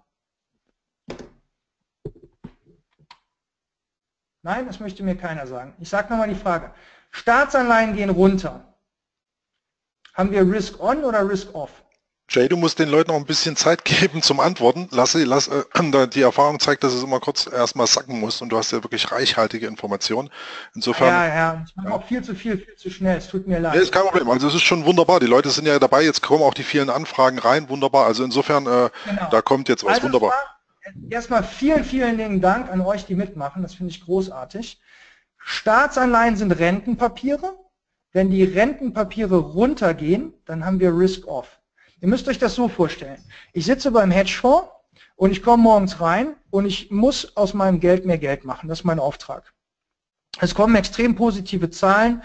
Ähm, Trump sagt, ich mache doch keinen Wirtschaftskrieg mit China und ich brauche keine Mauer mit Mexiko und ich äh, werde dafür sorgen, dass wir ein riesengroßes Infrastrukturprogramm äh, verabschieden.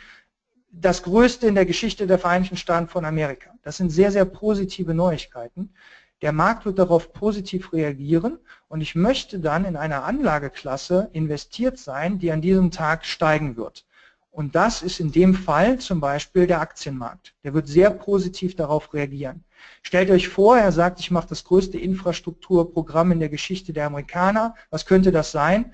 Naja, deren Autobahnen sind genauso marode wie unsere. Wir könnten also uns in diesem Sektor anschauen, wer ist eigentlich äh, da sowas wie Strabag bei uns hier, ja, wer macht dort Straßenbau, ähm, kaufen wir so etwas. Ähm, wer stellt Kräne her, um öffentliche Gebäude wieder auf, weißt du, äh, abzureißen, neu aufzubauen? In diese Richtung müsst ihr denken. Oder zum Beispiel, er sagt, ich werde unser Militär erneuern dann schaust du dir sogenannte Defense-Namen an, also Defense Contractors. Wer baut denn Panzer und Flugzeuge? Unschönes Beispiel, aber so agieren wir nun mal im Markt. So, das heißt, die Aktien gehen hoch.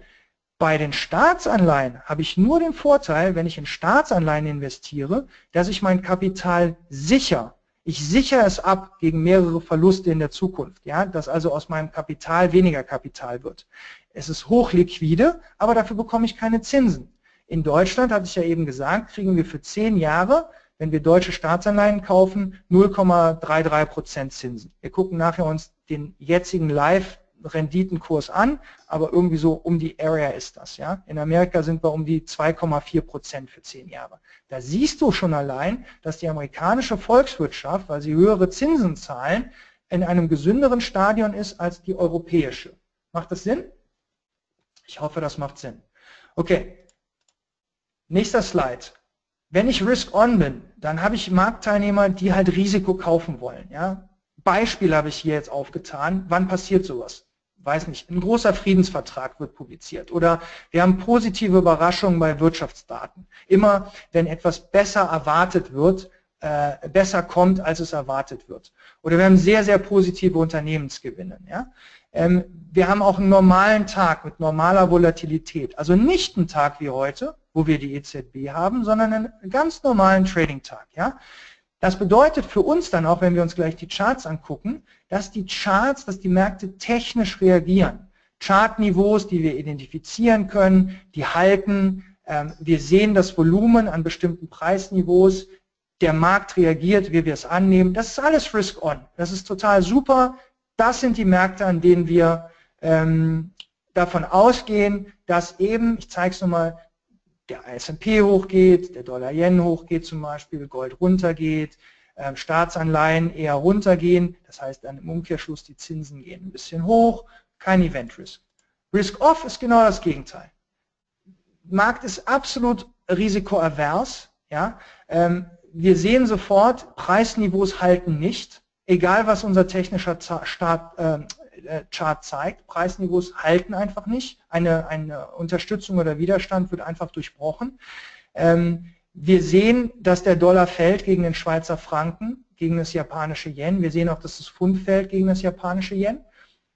Japan ist total überschuldet, ist eine katastrophale Volkswirtschaft. Seit 25 Jahren drucken die Geld. Es kommt keine Inflation, kein Wirtschaftswachstum. Aber du kannst als Hedgefondsmanager Milliarden im Yen parken hochgradig liquide und da passiert nichts. Also, fundamental ist der japanische Yen keine Währung, die du long sein willst. Fundamental ist es aber so, ähm, dass es in einem Risk-Off-Szenario weniger relevant ist, sondern du musst deine Milliarden so schnell wie möglich irgendwo parken, damit die Milliarden auch Milliarden bleiben und nicht im Wert verlieren. Wenn also etwas Schlimmes passiert, dann willst du nicht in den Aktien sein, wenn die Aktien 8% verlieren. Dann hast du nämlich gerade 8% Verlust gemacht.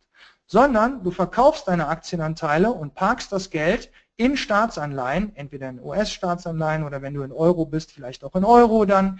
Und äh, große Investoren gehen halt, wie gesagt, und parken das Geld im Yen, einzig und allein dahingehend, dass es sehr liquide ist. Du kannst unheimlich viele hohe Summen dort parken und mit wenig Verlust wieder rausziehen. Was, was kann noch Risk-Off auslösen? Äh, wir hatten das zum Beispiel gesehen, äh, institutionelle Probleme. Ihr wisst, äh, letztes Jahr, als die Schlagzeile kam, dass das Department of Justice in Amerika und die Umweltbehörde in den USA VW verklagte, weil sie wegen dem Dieselmotor Fusch-Software eingebaut haben sollen. Das war eine Katastrophe, idiosynkratisch für diese Aktie, war aber auch erstmal dämpfend für die Euphorie am Markt, jetzt wieder auf das systemische Risiko gesehen. Ja? Wenn Banken pleite gehen, Lehman zum Beispiel, das war systemrelevant, als Lehman pleite gegangen ist. Ich war übrigens live dabei bei Lehman damals. Sehr, sehr unschöne Erfahrung. Ähm, äh, das war, die, das hat ja die, den Finanzcrash in der Geschichte unseres jetzigen Finanzsystems ausgelöst damals. Aber auch negative Gewinne in wichtigen Sektoren können dazu führen, Black Swan Events, äh, äh Terroranschläge, Wobei auch hier darf ich Nebenbemerkung sagen, also ähm, diese Terroranschläge, die wir jetzt sehen, dass äh, Menschen ihr Leben verlieren, sind schrecklich, aber sie beeinflussen die Märkte nicht mehr. Ja? Es müsste also was ganz, ganz Schlimmes kommen, was riesengroßes. Ja? Und ich gehe dann normalerweise in meinem Seminar dann hier eben auch noch über Fragen ein und so. Ich mache das sehr äh, praxisnah. Jetzt möchte ich nochmal äh, zurück zu ähm, unserem Markt gehen, ganz kurz weil nicht jeder hat vielleicht den ganzen Tag Zeit und die wollen ja vielleicht auch mal sehen, wie schauen wir uns die Charts an. Also, ich sehe weiterhin, dass Neuseeland gegen kanadischer Dollar heute was zu tun hat. Und jetzt schauen wir uns doch einfach mal diesen Chart an. Ich nehme einfach mal JFT, wenn ich darf.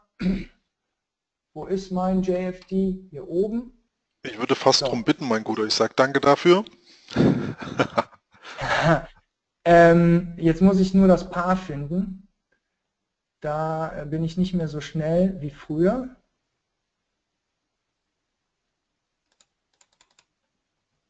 Neuseeland Cut. Äh, wir machen einfach ein neues Chart Window auf und wir fangen mal äh, von ganz vorne an. So, der Prozess ist immer gleich. Du verschaffst dir erstmal einen Überblick ähm, über den Wochenchart. Was sehen wir hier? Ganz normal Okay, wir sind insgesamt in einer Range. Das ist hochinteressant. Und auch wenn das heute nicht erreicht wird, so bin ich halt einfach, weil ich so ein Perfektionist bin oder zu lange Soldat war, ich zeichne mir erstmal die letzten Preisniveaus, die relevant waren, ein. Wir nennen das In Play. Ja, was war In Play? Dann darf ich einen Blick aufs Volumen. Ich sagte ja, die Großen können ihre Spuren nicht verdecken. Und hier haben wir etwas, äh, das in letzter Zeit, in den letzten Wochen höchste Volumen an dieser Kerze. Das ist ein klares Reversal Bar. Ich hatte heute schon über diese ähm, Konstellation gesprochen. Wir nennen das Close and Reverse. Dieses Preisniveau hier oben von wahrscheinlich 98 Area, also 0,988. Ja. Ich bin bei den Wochencharts sehr äh, großzügig, was das angeht. Ich will mir erstmal einen Überblick verschaffen. Das hier oben nennen wir Finished Business. Das war's erstmal. Wir sehen dieses Preisniveau bis auf weiteres nicht. Hier liegen auch keine Stops. Das war, es ist erstmal vorbei, dieses Thema. Ja? Außerdem sind wir auf dem Wochenchart. Aber der Markt ist fraktal von seiner Natur her aus. Das, was wir, also ein Preisniveau ist ein Preisniveau ist ein Preisniveau. Ist völlig egal, ob du auf dem Tick-Chart bist, einem 1-Minuten-Chart oder auf dem Monatschart. Ähm, dieses Preisniveau ist relevant. Hier ist der Markt abgewiesen worden. Das ist Finished Business. Bitte erlaubt mir zu sagen, dass ich nicht jedes einzelne Wort und 21 Jahre Erfahrung und mein ganzes Seminar hier abhalten kann. Noch möchte ich das. Ich habe noch neun Plätze frei. Es würde mich sogar freuen, wenn jemand sagt, ich möchte ein Jahr lang ausgebildet werden und kommt äh, übernächstes Wochenende sogar noch aufs Seminar. Pass auf, Jay. Aber ich kann euch, Entschuldigung. Pass auf, ich stelle den Link äh, von deiner Website direkt mal rein, gebe aber hier nochmal gleich die Info, wer von euch da Lust hat auf das Tool. Ich werde da mit Jay nochmal ein Agreement ausmachen, äh, wie wir das vielleicht darstellen können. Schreibt es an den Kundenservice äh, äh, Live-Webinar mit Jay, also an unseren JFD-Kundenservice. Ähm, dann werden wir eure E-Mail-Adressen, ich vermute es sind mehrere, sammeln und dann werden wir uns mal überlegen, wie wir das mit dem Tool machen können für euch. Und ansonsten, ähm, ich stelle jetzt mal die Website von Jay direkt, ähm, die wir vorhin gesehen haben, online. Da könnt ihr euch oben auf der Reiterleiste ähm, sozusagen durchklicken und da, wie gesagt, Jay hat noch Plätze, äh, könnt ihr euch anmelden. Ähm, aber wie gesagt, mir ist der Jay auch ins Herz gewachsen. Ihr merkt auch, was er hier für Skills vermittelt. Ähm, ich glaube, wir werden hier noch mehr miteinander zu tun haben. Nichtsdestotrotz, der Link ist gesetzt. Ansonsten, wer sich für das Tool interessiert, übrigens jetzt blinkt es wieder, Jay, äh, wer sich oh, für das Tool interessiert, ja, eigenartigerweise, vielleicht, vielleicht, vielleicht liegt es gerade an mir. Ähm, vielleicht den MetaTrader nochmal klein machen aber wie gesagt, wer da Interesse an dem Tool hat, dann unseren äh, Kundenservice at jfdbrokers.de oder .com anschreiben. Einfach äh, Tool äh, Live Webinar, ja. Flashplayer-Problem. Ja, ähm, wie gesagt, dann werden wir uns drum kümmern. Ansonsten wegen dem Seminar schaut euch das an. Ähm, da gibt es einiges zu erfahren. Und Jay, ansonsten fahr einfach weiter fort. Ja, ähm, also letzter Satz zum Seminar, weil ähm, Chris äh, und ich sind aufrichtige Typen und ähm, ich halte nichts von riesengroßen Werbegeschichten. Wie gesagt, das erste Seminar ist sehr reißerisch vermarktet worden. Ich habe einen Herzinfarkt bekommen. Ich habe mich nämlich Tage und Wochen mit der Vorbereitung des Contents beschäftigt und nicht mit der Vermarktung. Ähm, und ähm, dieses reißerische Vermarkten hat dafür gesorgt, dass es in 48 Stunden ausverkauft war. Meine Firma habe ich am 15. November gegründet und es hat absolut Hand und Fuß. Ich habe mittlerweile schon fünf Artikel im Traders Magazine ähm, verabschiedet und ich kann euch 21 Jahre so viel Erfahrung in den Kopf prügeln. Es ist Wahnsinn. Was ich wohl gut kann, sagt der Volker mir zumindest, ich kann hochkomplexe Dinge simpel darstellen. Im Seminar haben wir Zeit, da haben wir Luft zu atmen, wir sind in Seeheim ähm, ähm, im Lufthansa Ausbildungszentrum, das ist absolut top da. Ähm, es ist eine super Truppe bisher, ähm, äh, ein, zwei Anfänger, äh, ein, der Rest ist ein bisschen fortgeschrittener, aber noch nicht ähm, langfristig profitabel. Der Frank und der Klaus kommen ebenfalls. Ähm, das sind äh, die Jungs, die letztes Jahr die Ausbildung durchlaufen haben. Und was ich sagen möchte ist, ich persönlich habe in den USA meine Ausbildung, meine Uni-Ausbildung gemacht und ich habe weit über 100.000 in meine Ausbildung gesteckt. Für mich ähm, ist das, ich bin da anders, ich bin da nicht deutsch, ich bin da amerikanisch. Für mich ist äh, Geld in Ausbildung stecken völlig normal. Ähm, dieser Preis, 2000 Euro, ich habe gedacht, das wäre ein Witz dafür, dass du ein Jahr von einem Profi was lernen kannst und betreut wirst und ich auch noch einen psychologischen Hintergrund habe. Das heißt, ich kann dir bei dem Thema, was nachher wirklich dich am Erfolg hindert, weil Trading kann ich dir relativ schnell beibringen, ähm, äh, ob du es umsetzen kannst profitabel, das ist halt die Frage und das ist ein psychologischer Ausbildungsprozess. Das ist ein Joke, 2000 Euro. Aber ich realisiere jetzt, dass wir in dieser Umsonstgesellschaft leben. Amazon verschickt alles umsonst, auf YouTube gibt es alles umsonst. Ich stelle meinen Morning Espresso rein. Das Ding allein müsste eigentlich 200 Euro mindestens im Monat kosten als Subscriber-Service. Ich wundere mich halt ein bisschen. Ich habe aber gesagt, ich möchte Leuten helfen und ich werde Leuten auch helfen. Ähm, weil ich bin ein bisschen erstaunt, es wird ziemlich viel Unfug ausgebildet von Einäugigen, die dann den Blinden was erzählen wollen. Und ähm, da möchte ich einfach anders sein. Bin ich ja auch. Punkt. Ich sage einfach, so ist es, so gucken die Big Boys auf die Märkte und so wird gehandelt. So, und ähm, wir handeln nicht gegen die Big Boys, wir handeln mit den Big Boys. So, genug gelabert, zurück zum Chart. Neuseeland, Kanada. Ähm, also hier oben, das nennen wir Finished Business, hier liegt keine Liquidität, aber wir haben Liquidität hier und hier. Liquidität, könnte man simplistisch sagen, sind Stops. Wir Banken agieren wie folgt. Wir kriegen, ihr müsst euch das so vorstellen. Ich habe ja eben gesagt, es gibt keinen Eigenhandel mehr, es gibt aber das Market Making noch. Und ähm, nehmen wir Dienstagnachmittag, wo die Theresa May etwas sagt, was fundamental zur Folge hat, dass das Pfund nicht mehr so schlecht dasteht wie äh, in der Minute, bevor sie ihren Mund aufgemacht hat. Das ist eine fundamentale Veränderung. Jetzt stellt euch das bitte so, so vor. Du sitzt als Händler vor deinem Bildschirm und äh, dein erster Salesman ruft dich an oder Salesfrau und sagt, ähm, äh, ich brauche bitte eine Offer, äh, Pfund gegen Dollar. Da möchte jetzt jemand, ein großer Kunde, sagen wir einfach mal, es sei Pimco, einer der größten Asset Manager der Welt oder BlackRock zum Beispiel, und dann sagt er zu ihr, ich möchte für 500, also 500 Millionen, deine Offer, deine Offerte äh, äh, Kabel haben, also Pfund gegen Dollar. Das bedeutet dann, ich verkaufe an den Kunden 500 Millionen Pfund, bekomme dafür den von mir gestellten Kurs in Dollar rein. Dollar ist aber am Dienstagnachmittag gefallen. Das heißt, das, was ich im Inventar habe, Dollar, fällt gerade und das, was ich gerade verkauft habe, nämlich Pfund, steigt gerade. Jetzt kommt der nächste Kunde, sagen wir mal, das ist äh, die Allianz, und der will natürlich genau dasselbe haben, weil der möchte auch seinen Trade nicht nur schließen, sondern drehen. Und auch der sagt mir in dem Moment, wo ist deine Offerte? Pfund gegen Dollar.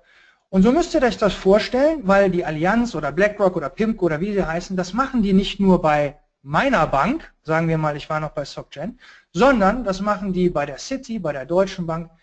Allen Händlern passiert im Moment dieselbe Situation, dass wir Pfund, was teurer wird, immer mehr ins Minus gehen von unserem Inventar her und Dollar, das was billig wird, immer mehr reinbekommen.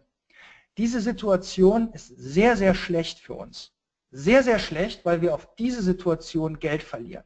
Und diese Bewegung hier, das ist ein Tag, das waren drei Prozent, das war die größte Bewegung im Kabel seit 20 Jahren. Und deshalb ist am nächsten Tag auch nicht viel passiert im Markt, weil sich ganz, ganz viele große Institutionelle erstmal ihre verwundeten Pfoten lecken mussten. Ja? Interessant aber, wo wir abgeprallt sind. Okay, das war eine kleine Nebenbewegung über die Schwierigkeit, wie ein Market Maker arbeitet. Ich schaue mal gerade, der Wolf hat eine Frage, eine Sekunde. Ähm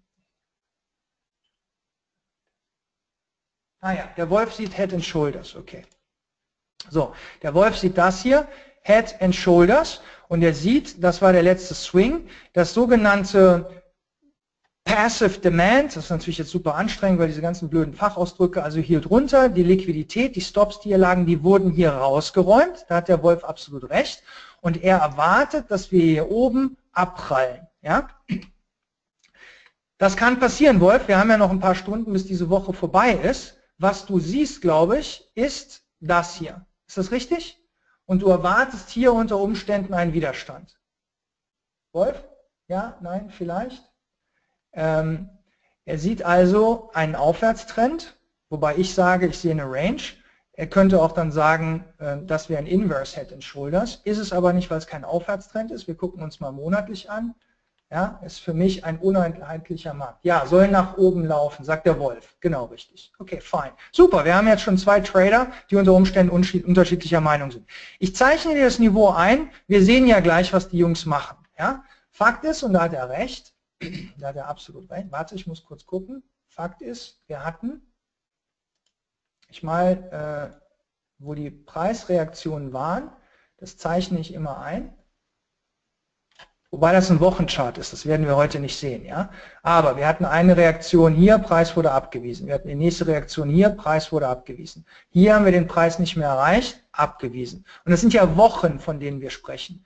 Hier haben wir Paycheck Liquidity, nennen wir das. Also wir sind über einen Liquiditätspuffer, der in der Vergangenheit uns Händlern die Liquidität gegeben hat, um die Position zu drehen. Kunden wollten short gehen. Dann müssen wir erstmal den Markt hochziehen, damit wir in eine Position kommen, wo die Leute, die dann auf Ausbruch spekulieren, uns, wir wollen ja shorten, uns Positionen verkaufen, beziehungsweise sie von uns kaufen, ich habe es falsch schon gesagt, sie kaufen von uns die Position, weil wir gehen Short und ihr seht, die Reaktion ist dann Short und zwar gewaltig. Ja. Hier unten auch Finished Business. So, ich sage, hier oben ist weniger Liquidität als hier, wir gucken uns das aber an. Wir, wir zeichnen erstmal nur den Chart ein, Wolf. So, jetzt sind wir auf dem Daily. Was sehe ich auf dem Daily-Preisniveau? Hier hatten wir eine Linie, die kam aus dem Wochenchart, das war, ich gehe nochmal zurück, das war die Linie, die der Wolf hatte, genau, das war hier, wo er die linke Schulter sieht. Ähm, und ich sehe auf dem Tageschart, sehe ich im Moment nicht viel.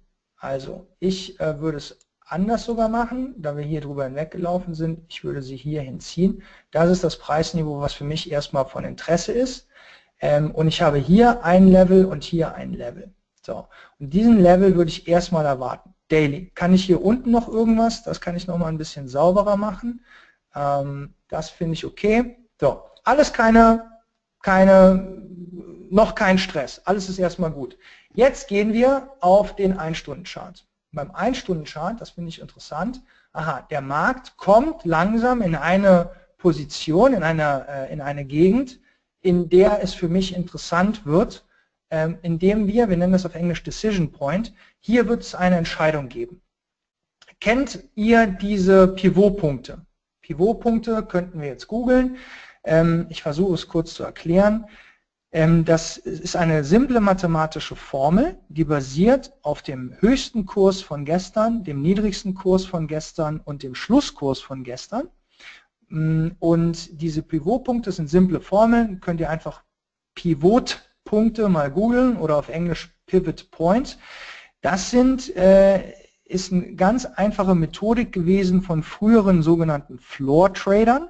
Also das waren die Futures- und Options-Händler in Chicago im sogenannten PIT, die da in dem Kreis stand. Das gibt es ja nicht mehr. Die standen da im Kreis und haben sich gegenseitig die Futures-Kontrakte um die Ohren gehauen. Und äh, institutionelle große äh, Kunden waren im Hintergrund, mussten dann einen Broker unten auf dem Floor anrufen. Der hat die Order weitergegeben an seinen jeweiligen Pit-Trader und dort wurde sie exekutiert. Und das Interessante ist, das, was der Chris oder ich machen, dass wir heute von zu Hause aus handeln, das geht nur über die Technologie. Früher hätten wir uns so eine Mitgliedschaft in Chicago kaufen müssen hätten diese Handsprache erlernen müssen und hätten unten im Flur gestanden und uns gegenseitig ähm, die äh, Kontrakte, wie gesagt, um die Ohren gehauen. Und diese mathematische Formel gibt dir einfach ähm, einen ersten, zweiten und dritten Widerstand, also einen ersten, zweiten und dritten ähm, Unterstützungslinie an. Ähm, und es, wir nutzen es einfach als sogenannte Konfluenz. Wenn wir also ein interessantes Preisniveau haben, wie hier, das haben wir aus dem Wochen- und Tageschart rausgenommen, dieses Preisniveau, bei 95,80 Area. Und wir sehen, bei 96 die Figur haben wir heute ein Daily Resistance. Das bedeutet auch, unter Umständen haben wir eben aus der Vergangenheit noch gesehen, hier hatten wir eine Abweisung, der Markt wird hier eine Entscheidung haben. Die Frage ist, wie reagieren die Big Boys hier? Fundamental ist Neuseeland Dollar bullish und gestern sagte der ähm, Gouverneur der Zentralbank von Kanada, es sieht doch vielleicht gar nicht so gut aus. Er möchte sich die Option offen halten, wenn es zu Wirtschaftswachstumsschwierigkeiten kommt, die Zinsen nochmal runterzunehmen. Zinsen im kurzen Ende beeinflussen aber die Währung. Steigen die Zinsen, steigt die Währung. Geht eine Inflationserwartung nach oben, steigt die Währung. Fallen die Zinsen, fällt eine Währung, also nehmen die Zinsen runter. Oder sinkt die Inflationserwartung, dann geht die Währung auch runter. So, also Moment Frage, Jay soll nach oben laufen, Pivot 3, eventuell Volumenspitze. Ja, super, Heinz weiß schon genau, was er macht. Ausstieg aus Long, aber wie verlässlich sind Volumenangaben bei Währung? Sehr gute Frage. Heinz sagt, Jay, du hast zwar hier Volumen, aber wir alle wissen ja, das ist kein Volumen. Das ist Tick Volume. Tick Volume korreliert nur ungefähr 80% mit Volumen. Was meinen wir mit Volumen? Wenn du in Chicago die Futures-Märkte handelst, dann ist das 100% transparent. Jeder einzelne Futures-Kontrakt wird notiert. Wo ist gekauft, wo ist verkauft, wie viele offene Positionen gibt es, wer ist da long, wer ist da short. Es ist 100% transparent. Währungshandel ist ein Interbankenmarkthandel. Das ist kein Handel, der stattfindet ähm, an einem börsennotierten Ort, sondern es ist ein Handel, der nur zwischen den Banken stattfindet. Wir erinnern uns bei Chris, bei JFD, ich gehe mal ganz kurz auf die JFD Broker Seite. Ich hoffe, hier sehen wir irgendwo nochmal die Banken, die angeschlossen sind. Ähm, die, Chris, siehst du, die, siehst du, die siehst du da nicht, die siehst du direkt auf dem Prime Brokerage. Ähm, ah, ja, aber okay. die siehst du auch im Post-Trade Report. Also dann nochmal ganz kurz, ne, wenn du da eben, wenn ihr euren Trade nachverfolgen lasst sozusagen, dann im Post-Trade Report sind auch alle Banks nochmal aufgeführt, die praktisch also da Liquidität stellen können. Ich danke dir, Chris. Entschuldige, dass ich dir ins Wort gefallen habe. Diese Banken ähm, äh, geben das Tickvolumen und das war eine super äh, Bemerkung vom Heinz. Dieses Tickvolumen hat eine Korrelation von ungefähr 80 Prozent mit dem Volumen. Wenn du jetzt also bei Broker Pissbachhausen in äh, äh, Buxtehude Nord ein Konto aufmachst und du willst dann Volumen und Preis in Abstimmung zueinander handeln, ist das weniger sinnvoll und relevant, was dir diese Preisbars anzeigen, als wenn du jetzt, ich sage jetzt mal, hoffentlich ist JFD so, du einen Broker hast, der einen sehr hohen Marktanteil hat, der sehr, einen sehr großen Anteil von den sogenannten Flows sieht, weil dann ist das diese Tick-Angabe, die du hier siehst, relevanter und wichtiger. Macht das erstmal Sinn für dich, Heinz? Übrigens, Jay. Ja. Äh, während du gesprochen hast, habe ich den Kiwi gerade mal schön versenkt mit einem Long Trade, den ich nachher dann nochmal darstellen konnte, warum und wieso. Hängt auch mit der Währungsstärke ein Stück weit zusammen und dann noch mit einem geilen Tool, was ich nutze. Ähm, aber sehr, die Stärke... Sehr, sehr, sehr gerne. Sehr, sehr geil. Erstmal möchte ich noch mal ganz kurz für diejenigen, die gelangweilt sind oder die, ähm, die sagen, der springt so viel und so, ich möchte mich entschuldigen. Ich bin neu in diesem Business. Normalerweise würdet ihr bei mir in der Bank neben mir sitzen, als jemand, der von der Uni kommt und ich habe ein Jahr lang Zeit, euch auszubilden. Ähm, klar springe ich von A nach B, der Chris und ich haben kein Skript, ja, wir sind auch nur Menschen, aber wir sind leidenschaftliche Händler. Ich bin auch leidenschaftlicher Mentor, ähm, aber es tut mir leid, wenn ich ähm, zu viele Sachen, die neu sind etc. pp. Danke für eure Fragen. Ich bemühe mich, dass wir das für euch so interessant machen wie möglich. Jay? Äh, Kiwi, Dollar hat der Chris gerade gesagt und das siehst du eben an unserem Tool so super. Wir sehen eben hier, was bricht hier wo aus ja? und welche Währungen geben im Moment, ich stotter dann auch manchmal. du, pass auf, Jay, Jay, Jay, ganz kurz, bevor du da weitermachst. Ähm, also wie gesagt, ich denke nicht, das wird das letzte Webinar sein und auf jeden Fall geil und cool, was du hier an Skills rüberbringst. Und wie gesagt, ähm, wir bauen das jetzt weiter auf. Du kannst auch definitiv sofort, äh, sofort fahren. Ich meine, die Leute sind, äh, denke ich, sicherlich begeistert. Auch das sagt auch das Feedback gerade. Also fahr da fort äh, den Neuseeland-Dollar, US-Dollar-Trade, den erkläre ich dann, warum ich den gemacht habe. Aber jetzt erstmal, fahr du erstmal fort, Jay. Ne? So, also was wichtig ist hier, das seht ihr auch an dem Tool, im Moment kommt diese Stärke, also wir sind genau in dem Paar, wo die Musik läuft. Das haben wir ja eben gesehen, Alligator Maul geht auseinander. Ja? So, jetzt haben wir uns den Daily angeguckt und ähm, auch dieses letzte Swing High wurde rausgenommen. Eine Sache, die mir sehr wichtig ist, ist, wir nennen das hm, Minus Development versus Positive Development, ist aber jetzt irrelevant. Das ist eine sogenannte J-Kurve und es ist eine sogenannte Stop-Kaskade. Wir haben also Stops, die über diesem Swing High lagen, über diesem Swing High, über diesem Swing High. Die wurden ausgestoppt. Ja? Das waren Positionen, die waren Short. Wenn dein Short ausgestoppt wird, ist das ja ein Buy. Und diese Buys, die beflügeln und befeuern gerade diese Bewegung gen Norden weiter. Die Stops, die hier drüber lagen, befeuern die Bewegung weiter. Die Stops, die hier drüber lagen, befeuern die Bewegung weiter. Und das ist sehr interessant, weil diese Bewegung nennen wir Compression. Compression seht ihr oft in drei bis vier sogenannten Pushes. Das sind Bewegungen. Das liegt an der Art und Weise, wie Banken Positionierungen fahren, in sogenannten Probes, in Stückelungen. Sehr, sehr häufig drei Stückelungen. Was schön und wichtig ist, ist, wenn Compression in ein Level reinkommt, ja, dann können wir eine Balancezone entwickeln. Wir nennen das Balance Area. Und diese Balance Area hat Liquidität oben drüber und unten drunter. Das ist sehr, sehr schön. Da können wir als Bank wunderbar in einen Long drehen. Wenn jetzt aber so ein Move in diese Zone, in der ich eine Entscheidung erwarte, reinrast mit einer J-Kurve, wirklich schnell reinrast, dann ist es hochinteressant, weil ich dann eine erhöhte Erwartungshaltung habe, dass diese Zone wieder krass oder schnell oder heftig abgewiesen wird. Aber diese Erwartungshaltung kann ich jetzt so in diesem Moment nicht, hier gibt es im Moment keinen Trade. Ja? Ich muss erst die Reaktion hier oben abwarten. Lass mich bitte kurz auf die eine Stunde gehen. Wir sind also hier jetzt wieder an einem Punkt, wo wir den R2 hatten. Ich möchte gerne das einfach mal ein bisschen kürzer machen und schauen, wo ist denn die letzte Bewegung. Die letzte Bewegung in der Stunde war hier durch den Pivot Point, den Daily Pivot Point, am R1 ungefähr in der Area abgewiesen worden, runtergekommen, Pivot Point aufgesetzt, hochgelaufen. Ich habe übrigens eine super Übung, die ich im Seminar mache. Ich äh, zeige einen Chart ohne irgendwas drin und dann mache ich die Kurven schwarz, äh, weiß und dann nehme ich ähm, hier so einen Balken und dann sage ich, und ihr sagt Stopp. Und dann male ich einfach Linien ein. Und dann äh, wechsle ich wieder um, dass man die Balken sieht. Und es ist erstaunlich, du triffst immer irgendwelche vermeintlichen Support- oder Widerstandslinien. Auch das, erkläre ich, ist ein psychologisches Phänomen. Das liegt an der Evolution unseres Gehirns. Wir sehen Linien, wo vielleicht überhaupt nichts Relevantes zu tun ist.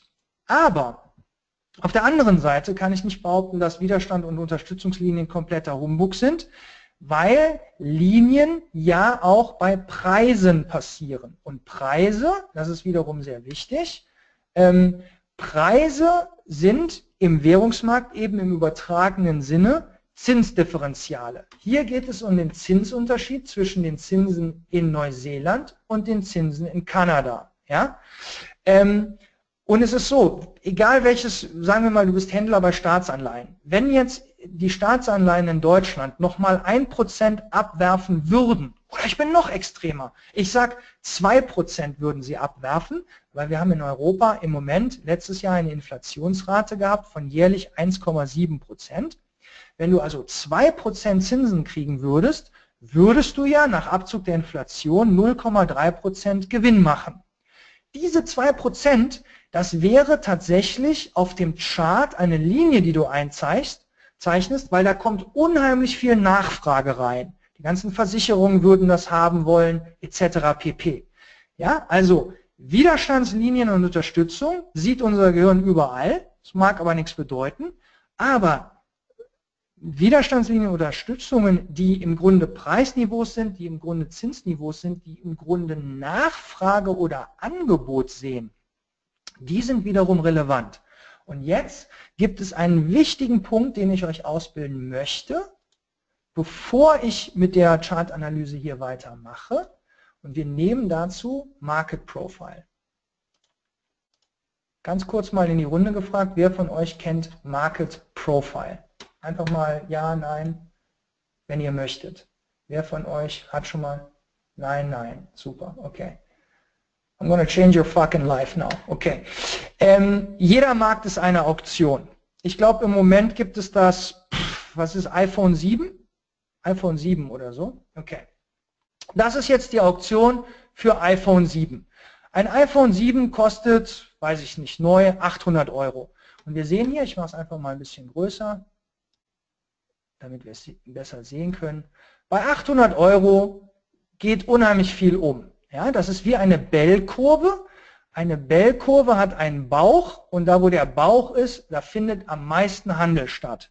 Wir nennen diese Zone Fair Value. Bei 800 Euro hat weder ein Verkäufer von einem iPhone noch ein Verkäufer, äh, noch ein, also weder der Käufer noch der Verkäufer eines iPhones haben bei 800 Euro einen wirtschaftlichen Vor- oder Nachteil.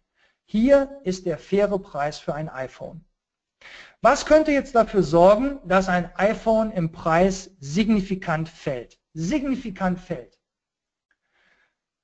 Ja, fällt mir zum Beispiel ein, dass iPhone 8 kommt und äh, das iPhone 8 kann noch mehr, kostet auch 800 Euro, ähm, kann aber irgendwie, pff, was weiß ich, es, es sagt dir, ähm, wie viel Kalorien du, du heute zu dir genommen hast, wie viel du dich bewegt hast und gibt dir das perfekte Diät vor, äh, die über einen neuen Lieferservice dir das fertig gemachte Essen sogar drei bis fünfmal am Tag bringt.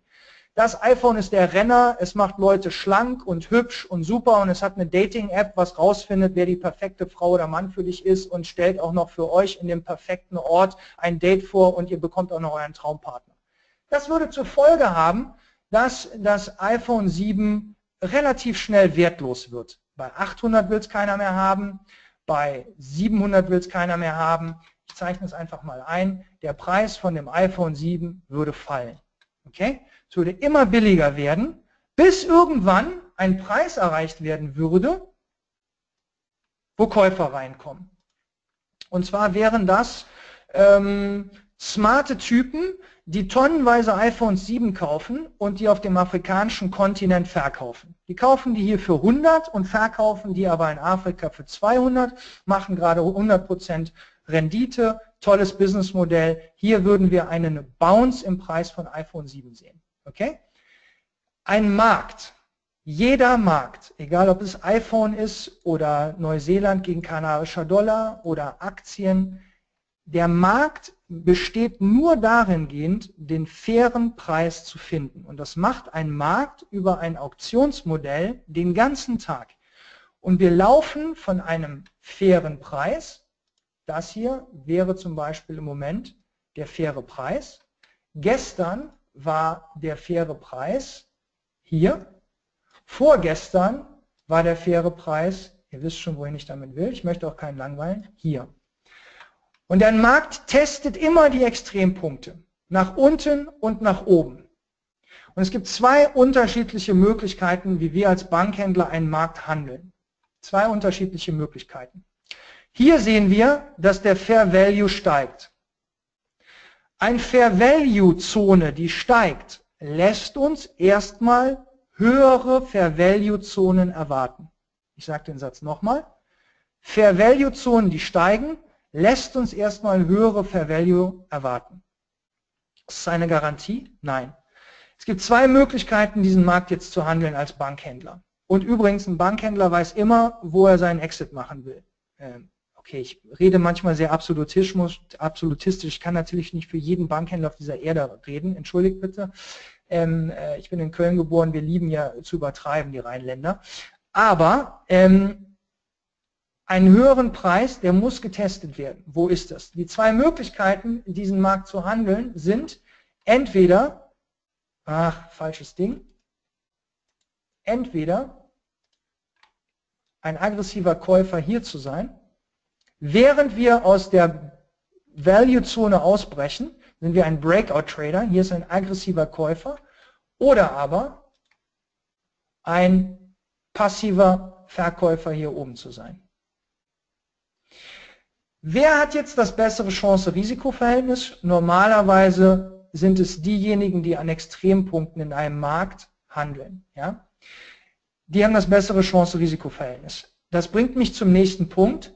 Die Daytrader, der Klaus zum Beispiel, das, die sind eher hier zu finden. Und die Swing Trader, die Positionen über mehrere Tage, Wochen, Monate oder Jahre halten, die sind eher hier zu finden. Beispiel Euro-Dollar. Wenn der Euro-Dollar, jeder quatscht ja über Parität und schreibt es auch, äh, meistens Leute, die keinen einzigen Tag bei einer Bank gehandelt haben. Wenn der Euro-Dollar, sagen wir mal, unter Parität fällt, also 0,95, dann äh, werde ich einen großen äh, Chunk von meinem Geld nehmen und Euros kaufen, weil er dort fundamental nicht hingehört.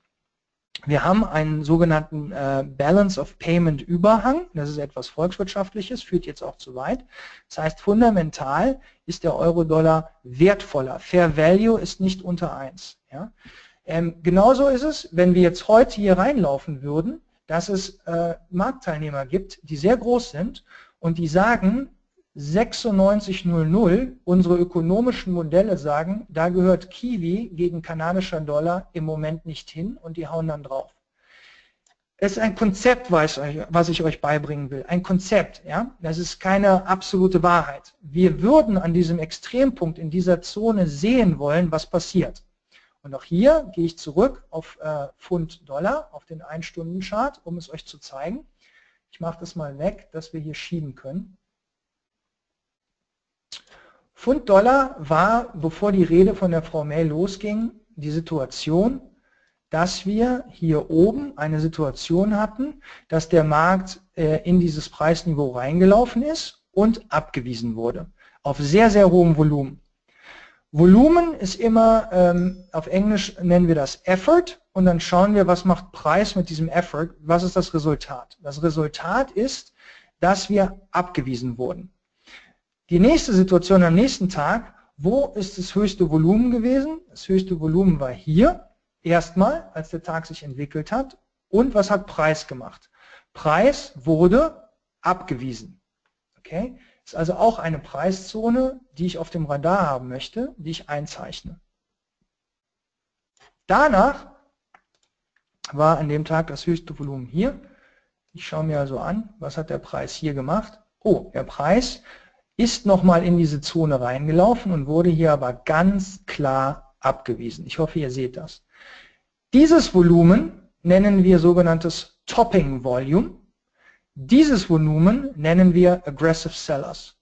Hier war, das ist jetzt leider dieselbe Farbe, entschuldigt mich, hier war eine Balance-Zone, sowas wie Fair Value. Und die Aggressive Sellers, die Daytrader, die Breakout Trader, die sind hier reingekommen. Das war Aggressive Selling. Und ihr Target, ihr Target ist erstmal die nächste Zone, wo eine Decision dem Markt abverlangt wird. Und wo ist die nächste Balance Area gewesen? Die nächste Balance Area war ungefähr hier. Und wo ist der Markt hingelaufen? Hier. Jetzt könnt ihr sagen, ja, das ist ja alles hinterher, Jay, und toll und bla. Ja, ich kann dir das live jeden verdammten Tag zeigen. Und das ist genau, was der Markt macht. Wenn du fundamental weißt, was los ist, welche Geschichte gespielt wird, und wenn du dann den Chart lesen kannst, dann weißt du vorher, wo diese Zonen sind, wo der Markt eine Reaktion machen wird. Wir wissen also hier, dass der Markt insgesamt, die Großen, die Big Boys, short positioniert waren. Am Sonntag war ein Artikel in der Sunday Times, am Dienstag wird Premierminister May äh, den Artikel 50 erläutern. Das ist dieser Artikel im äh, äh, Maastrichter Vertrag, der ausgeführt werden muss oder der gezogen werden muss, damit du eben aus der EU austreten kannst, was ja bei der Griechenland-Rettung noch behauptet wurde, unmöglich ist. Aber okay, jetzt äh, fange ich gleich an, wirklich politisch zu werden. Okay, also diese unkompetenten Penner haben halt dann irgendwie äh, gesagt, ähm, äh, äh Dienstag geht's los und es wird super negativ sein und die Big Boys haben den Markt hochgezogen, weil die Kunden wollten Short sein und konnten dann Short-Positionierungen umsetzen, indem sie hier die Liquidität genutzt haben und hier oben die Liquidität und wir haben dann gesehen, Verkäufer kamen rein, Zone wurde nochmal getestet, auch hier erhöhtes Volumen, Ah, interessanterweise, was war die Reaktion hier? Hier war also eine Gegenbewegung. Hier war ein bisschen Stopping Volume. Ja? Nichtsdestotrotz, overall kannst du auch am, äh, ähm, an äh, diesem Commitment of Traders Report sehen, war der Markt short positioniert. So. Und dann wussten wir, hier oben ist, sind die Shorts, hier oben sind einige Long, das sehen wir wie gesagt. Was passiert? Die Rede kam und die ganzen Shorts wurden aus dem Markt rausgedrückt und der Markt lief in einer J-Kurve bis zu einem Punkt, wo eine Entscheidung fällig war. Am nächsten Tag war es so, dass Trump dann den Mund aufgemacht hat und gesagt hat, der Dollar ist zu stark und das führte zu einer Gegenbewegung. Und dann wurde tagsüber noch gesagt, dass HSBC, größte Bank in Europa, eine der größten in der Welt, ähm, sein Headquarter von London ähm, verlegen möchte und Tausende von Jobs nach Paris bringt. Und gestern sagte Goldman Sachs, sie wollen 3000 Jobs in London dicht machen äh, und mindestens 1000 nach Frankfurt, aber auch einige nach Polen etc. pp. Das führte dann zu dieser Gegenbewegung Fund. Jetzt kannst du sagen, ich bin reiner technischer Trader, mich interessiert dieser ganze fundamentale Quatsch nicht. Ja, okay, dann handel du nur technisch. Ähm, wenn du Fundamental und Technik zusammen kombinierst, ähm, wird es sehr, sehr schwer für dich, unheimlich viele Verlusttrades in Folge zu haben. Ja? Nutze doch einfach die fundamentalen Treiber, kombiniere das mit deinem technischen Ansatz und verdiene mehr Geld. Also es gibt ja gar keinen Grund, äh, das Fundamentale außen vor zu lassen. Okay, diese J-Kurve kennen wir doch irgendwoher, oder? Ach ja, genau, richtig. Neuseeland-Dollar, kanadischer Dollar. Also wir sind aus der Value-Zone und testen jetzt Preisextreme.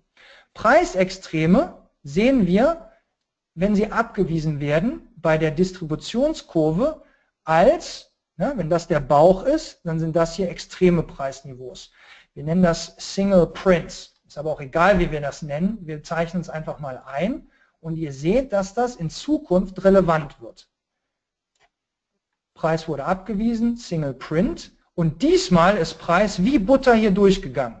Ha, kenne ich doch irgendwoher. Ja, woher kenne ich es denn? Ich kenne es von hier.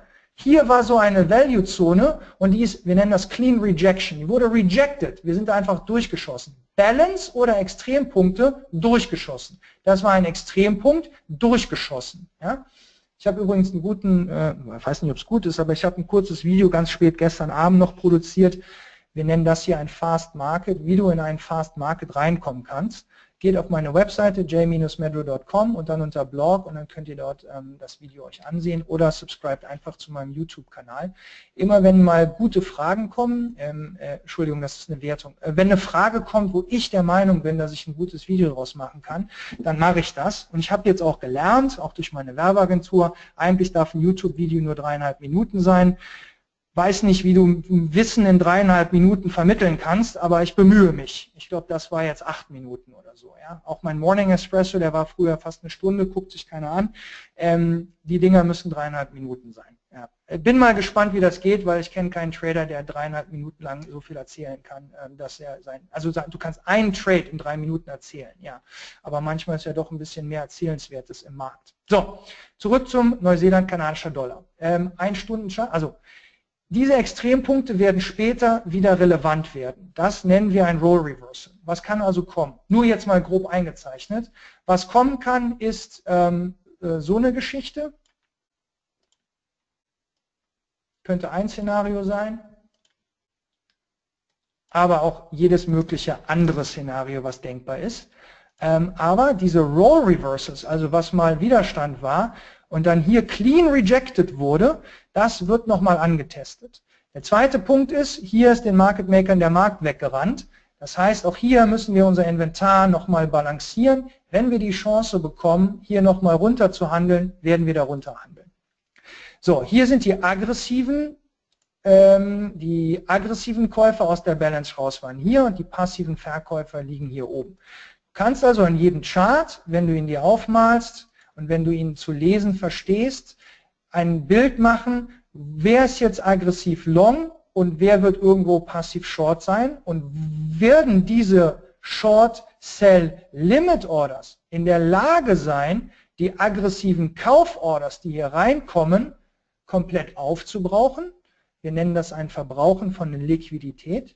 Dann geht der Markt hier durch oder wird es zu sogenannten Stopping Volume führen, dass hier also mehr Verkaufslimit Orders liegen, als Kauf-Markt-Orders reinkommen, Market-Buy-Orders, und dann wird der Preis abgewiesen werden. Das ist der Unterschied zwischen einem Daytrader wie mir, der den ganzen Tag davor sitzt, der sehr, sehr geduldig auf diese relevanten Preisniveaus wartet, dann das Volumen liest und die Preisreaktion liest und dann gehe ich rein. Es hat nichts. Zippo, nada, Nullinger, überhaupt gar nichts mit irgendeinem Indikator zu tun. Kein Bankenhändler hat, also nochmal, ich, ich habe keinen ausgebildet und ich habe keinen gesehen und ich selber auch nicht. Wir nutzen keinen Indikator. Gibt nicht. Ist mir wurscht, was die Indikatoren sagen. Es ist eine Auktion. Ich muss einfach verstehen, wo ist Value, wo ist ein unfair upper edge ist also ein unfairer Vorteil für die Verkäufer. Sagen wir, der Preis würde hier abgewiesen werden. Warum wird der Preis hier abgewiesen? Warum? Nicht, weil hier ein Pivot Point ist, sondern weil 0,9560, sagen wir mal, ein unfairer wirtschaftlicher Vorteil für den Verkäufer ist. Da gehört das iPhone 7 nicht hin. Es wird dann abgewiesen. Okay? Bis sich woanders wieder eine Fair Value Zone ausbildet wo sogenannter Two-Way-Trade stattfindet, Zwei-Wege-Trading, und dort ist Fair Value dann wieder. Genau das Gegenteil. Was war hier, lass mich ganz kurz gucken, ob wir es irgendwo sehen. Ja, was ist zum Beispiel an diesem Punkt hier passiert? An diesem Punkt, seht mal, was hier für massives Stopping Volume reingekommen ist und die Reaktion vom Volumen, die Reaktion waren steigende Preise, ja, die der, hier war ein unfairer wirtschaftlicher Vorteil für Käufer.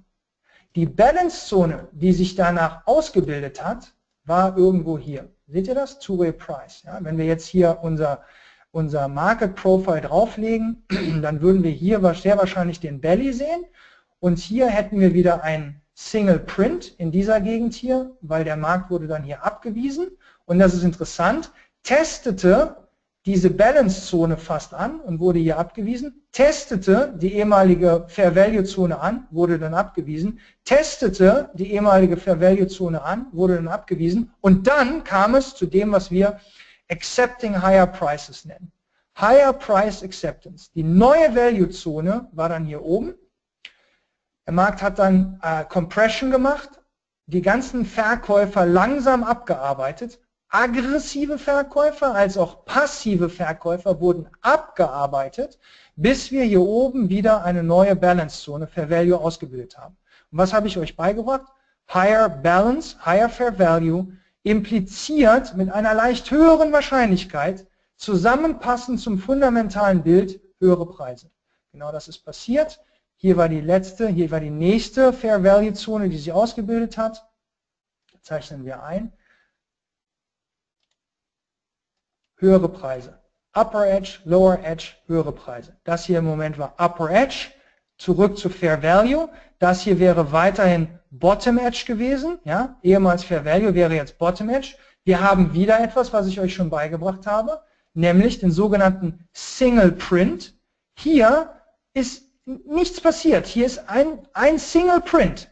Da ist der Preis ein Clean Rejection durchgeschossen. Deshalb gab es hier nur einen ganz kleinen äh, Anhäufung im Volumenprofil oder Market Profile. Aber der Preis wurde abgewiesen. Clean Rejection, ABC, in den ehemaligen Single Print. Wenn du also nur mit Market Profile arbeitest, kannst du dein Trading schon profitabel machen. Nur das. Das Problem ist, wenn du diese saulangweiligen Bücher kaufst, ähm, du wirst irre, das alles zu lesen. Ja? Ähm, dann reden sie von P-Formation und B und Doppel-B. Das macht ein Bankenhändler hat eine Aufmerksamkeitsspanne von 90 Sekunden. Also das macht keiner. Ja? Ich muss es den Jungs und Mädels so erklären, dass sie schnallen. Deshalb iPhone zu teuer, geht dahin, wo es wieder billiger war. iPhone zu billig, geht wieder dahin, wo Fair Value ist. Ja? aggressiver Käufer hier, aggressive Verkäufer unter Value, aggressive Käufer über Value und dann hoch zu dem nächsten, wo liegen die passiven Käufer, äh, Verkäufer, wo liegen die passiven Käufer. Die Linie machen wir wieder weg. Jetzt gucke ich ganz kurz mal die Fragen. wo findet man denn dieses Tool für den MT4? Mehr als drei Minuten. Da zeigt der Volumen, das Volumen des Brokers, das Volumen des Gesamtmarkts. Okay, Stefan. Ähm, das ist Market Profile, ist leider kein Volume Profile. Volume Profile ähm, gibt es nicht umsonst. Beides gibt uns aber ähnliche Preisniveaus. Jetzt ähm, versuche ich ganz kurz mal Paint aufzumachen. Ich mache das dazu klein. Ich versuche jetzt mal ein paar Fragen zu beantworten und ich entschuldige mich nochmal, dass ich springe. JJJ, das ist, ist, ja vollkommen in Ordnung. Die Fans oder die Zuschauer und äh, also die Fans vom Forex-Markt sind hier voll auf der Höhe und sind da bereit, dir da auch mit den Sprüngen zu folgen. Und wie gesagt, wir werden das sicherlich auch äh, weiter ausbauen oder anknüpfen. Ich denke, dein Wissen ist so komplex, dass wir das definitiv auch noch in einiges anderes packen können. Aber jetzt äh, wollen wir erstmal sehen, was oh, mit dem Market auf sich hat. Im Übrigen, den Indikator gibt's. Ähm, also ich habe einen, allerdings lädt der auch viel ein. Also wenn man, sag ich mal, fünf Währungspaare hat und einen Indikator drauf, dann kann es sein, dass der MetaTrader schon viel zu rechnen hat. Ähm, aber Google gibt es her, denn das äh, Market Profile, den also genau. es sei denn, du hast deinen, aber den kriegst du, also den MetaTrader ähm, den gibt es da wirklich umsonst im Web. Jetzt äh, mache ich was ziemlich hässliches, ich versuche es zu malen, ich, es tut mir leid. Ja. Also, wir fangen einfach mal hier an, dann ist jetzt Preis. wie nennt man das, ein Line-Chart, ne? Mhm. Linienchart, richtig. Die wenigsten, ja. also nicht die Masse an Informationen, aber doch hilfreich. Schade, dass ich keinen Alkohol trinke, wäre sonst besser. so ein schönes Movement. So. Volumen. Volumen sehen wir ja immer hier drunter. Ne? Also machen wir Volumen hier drunter. So würde dein Indikator das ja anzeigen. Der, das Volume Profile funktioniert mit Buchstaben und das Volume Profile liest quasi 30 Minuten lang, äh, was ist bei diesem Preisniveau, sagen wir einfach, hier ist ein Preisniveau, ja, ähm, ja super, habe ich den, ja, ich kann es nochmal verschieben. In diesen 30 Minuten, wie oft hat da dieser Preis gehandelt? Ja, das, also 30 Minuten lang dieser Preis und dann gibt es hier ein A. Habe ich jetzt keinen Bock, das zu malen. Ähm, hier, nächsten 30 Minuten, wie oft hat der Preis hier gehandelt? Einmal, zweimal, dreimal, viermal. Dann gäbe es hier viermal ein B. Ja? Ähm, hier, wie oft in 30 Minuten hat der Preis hier gehandelt? Einmal, zweimal, dreimal, viermal, fünfmal, sechsmal, siebenmal. dann gibt es hier zigmal ein C. Und was du dann an, an Ausformung hast, ist, und jetzt mache ich genau das Volumen, das Volumen seitlich dargestellt, wäre dann so. Hier ist ein bisschen öfters gehandelt der Preis. Hier ist er nur einmal gehandelt, ein sogenannter Single Print. Ähm, und hier hat er ganz, ganz oft gehandelt. Ja, so. Und äh, hier hat er ein bisschen weniger oft gehandelt und hier hat er noch ein bisschen weniger oft gehandelt und hier hat er so gehandelt und hier hat er so. Ihr wisst schon, worauf ich hinaus möchte. Ihr habt dann am Ende die sogenannte Bell-Kurve. Eine Normaldistribution von Preis.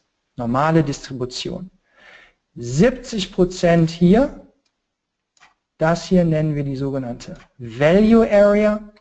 Das hier ist Top Edge, der obere Rand. Und das hier ist Bottom Edge, der untere Rand. Nichts anderes zeigt dir dieses Volumenprofil an. Volumen unten drunter, unten drunter unter Markt. Bei so einem Extrempunkt würden wir Stopping Volume sehen. Das wäre so riesig groß. Ja? Und hier bei diesem Ausbruch zum Beispiel, da wäre es zum Beispiel unheimlich wichtig, dass wir ganz wenig Volumen sehen. Oder weniger Volumen, kein Extremvolumen. Den hier müssen wir noch größer machen. Es muss extremes Volumen sein, sonst ist es kein Topping Volume. Ja? Und die Kerze, die wir hier sehen würden, wäre höchstwahrscheinlich so eine Kerze. Auch das ganz übertrieben dargestellt, damit ihr es seht. Ja? Auf dem Low geschlossen, Riesenpin nach unten. Ja? Ähm, das ist eine Reversal Candle und die nächste Candle macht vielleicht dann sogar hier auf und fällt weiter und der Markt, wo ist unsere Erwartungshaltung, wo fällt der Markt hin? Unsere Erwartungshaltung ist, dass er wieder in Value zurückfährt. Ja? Von Top Edge zu Value. Wenn er durch Value sauber durchläuft, wie hier, dann und dann Value nochmal abweist, dann ist unsere Erwartungshaltung, dass wir den Bottom Edge nochmal antesten. Und ein Markt handelt immer, immer, immer von Value zu Value zu Value zu Value zu Value. Er sucht immer Value. Ja? Punkte, die Single Prints waren, die abgewiesen wurden, können nochmal aufgefüllt werden. Das heißt, ein Markt versucht, jedes Volume Profile zu einer Bellkurve auszubauen. Okay?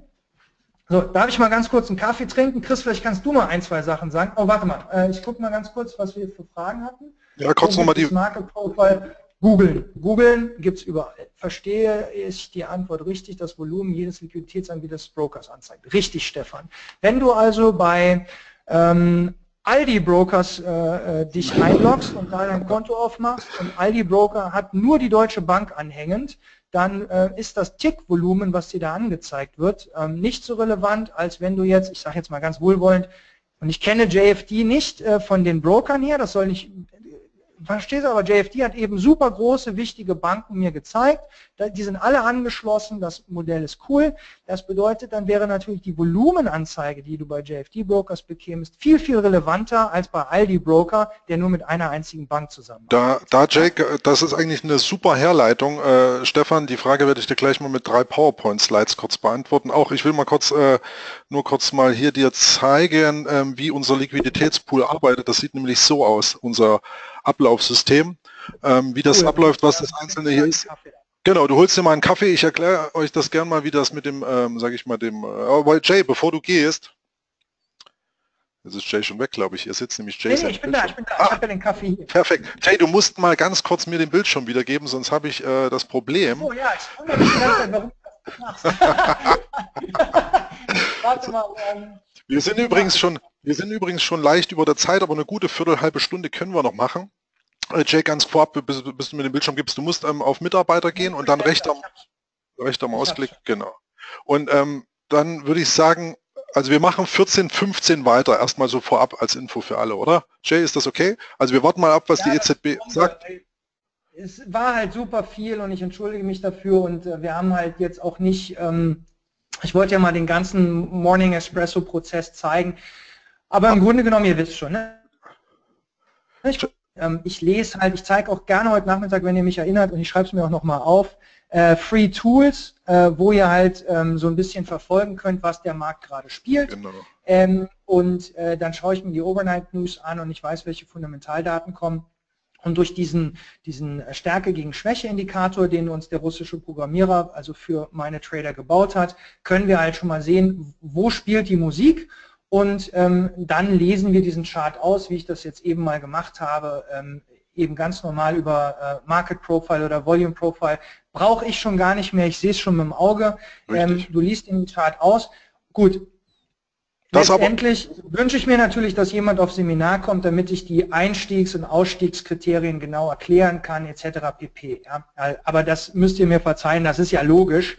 Ähm, das ist ja schließlich mein Wunsch, mit euch zusammenzuarbeiten und euch eben dieses Handwerk, diese Ausbildung von A bis Z sauber beizubringen. Ich glaube nicht, dass das jetzt sinnvoll ist, ähm, hier zu behaupten, ich könnte euch in zwei Stunden 21 Jahre Trading-Erfahrung vermitteln, das geht nicht. Ich kann euch aber gute Einblicke geben und ich hoffe, dass ihr realisiert, dass es kein Bullshit ist, den ich mache. Das ist, this is my life. Ich liebe das. Ich bin Profi, ich, die könnt euch angucken, wann ich in meine Facebook-Gruppe Sachen poste, das ist um 1 Uhr nachts und 2 Uhr nachts. Ich sage nicht, dass das nötig ist, um Geld zu verdienen, um Gottes Willen. Ich bilde ja quasi so ein Feierabendkonzept aus, äh, weil ich ja genau weiß, Du musst aus der Sicherheit, aus deinem Job heraus dieses Handwerk erlernen, musst dann aber stetige Renditen erwirtschaften und wenn du nach einem Jahr siehst, okay, ich schaffe das, vielleicht auch nach zwei Jahren, oder selbst wenn es drei wären, es wäre doch wurscht. Wenn du dann siehst, okay, jetzt habe ich das psychologische Trading-Gehirn ausgebildet, jetzt traue ich mir das zu, dann machst du einen Businessplan. Jeder von meinen Tradern, die weitergemacht haben, haben einen Tradingplan und der nächste Schritt ist dann ein Businessplan, um deine deinen Berufwechsel zum vollzeitigen Trader eben mit Hand und Fuß zu planen und dann umzusetzen. Ja? Ähm, äh, und dann kannst du das leben, äh, wenn du das möchtest. Ähm, äh, das ist absolut realistisch, ein Beruf wie jeder andere auch. Ja? So Nur, dass das Einkommen in der Theorie nach oben hin nicht gekappt ist. So, so ist jetzt es. übergebe ich an dich. Entschuldige bitte. Nein, nein, nein, nein, nein. Die Leute, wie gesagt, wir lesen ja im Chat, dass es auch super informativ ist und ähm, das habe ich mir ja genauso erwartet, Jay. Im Prinzip hatte ich auch Webinare. Peter, Peter muss weg. Also danke, dass du ja. dabei warst, Peter. Ciao, ciao. Äh, wie gesagt, das hatte ich mir ja genauso erwartet. Im, äh, Im, Prinzip halte ich ja auch schon genug Webinare, wo ich Monologe halte, mehr oder weniger. Also die Interaktion mit dem Chat ist natürlich nur einerlei, aber wenn man zu zweit ein Webinar aufzieht, dann ist es immer schön, wenn man einen Pendant hat, der eben auch reichlich Content liefert. Und das tust du.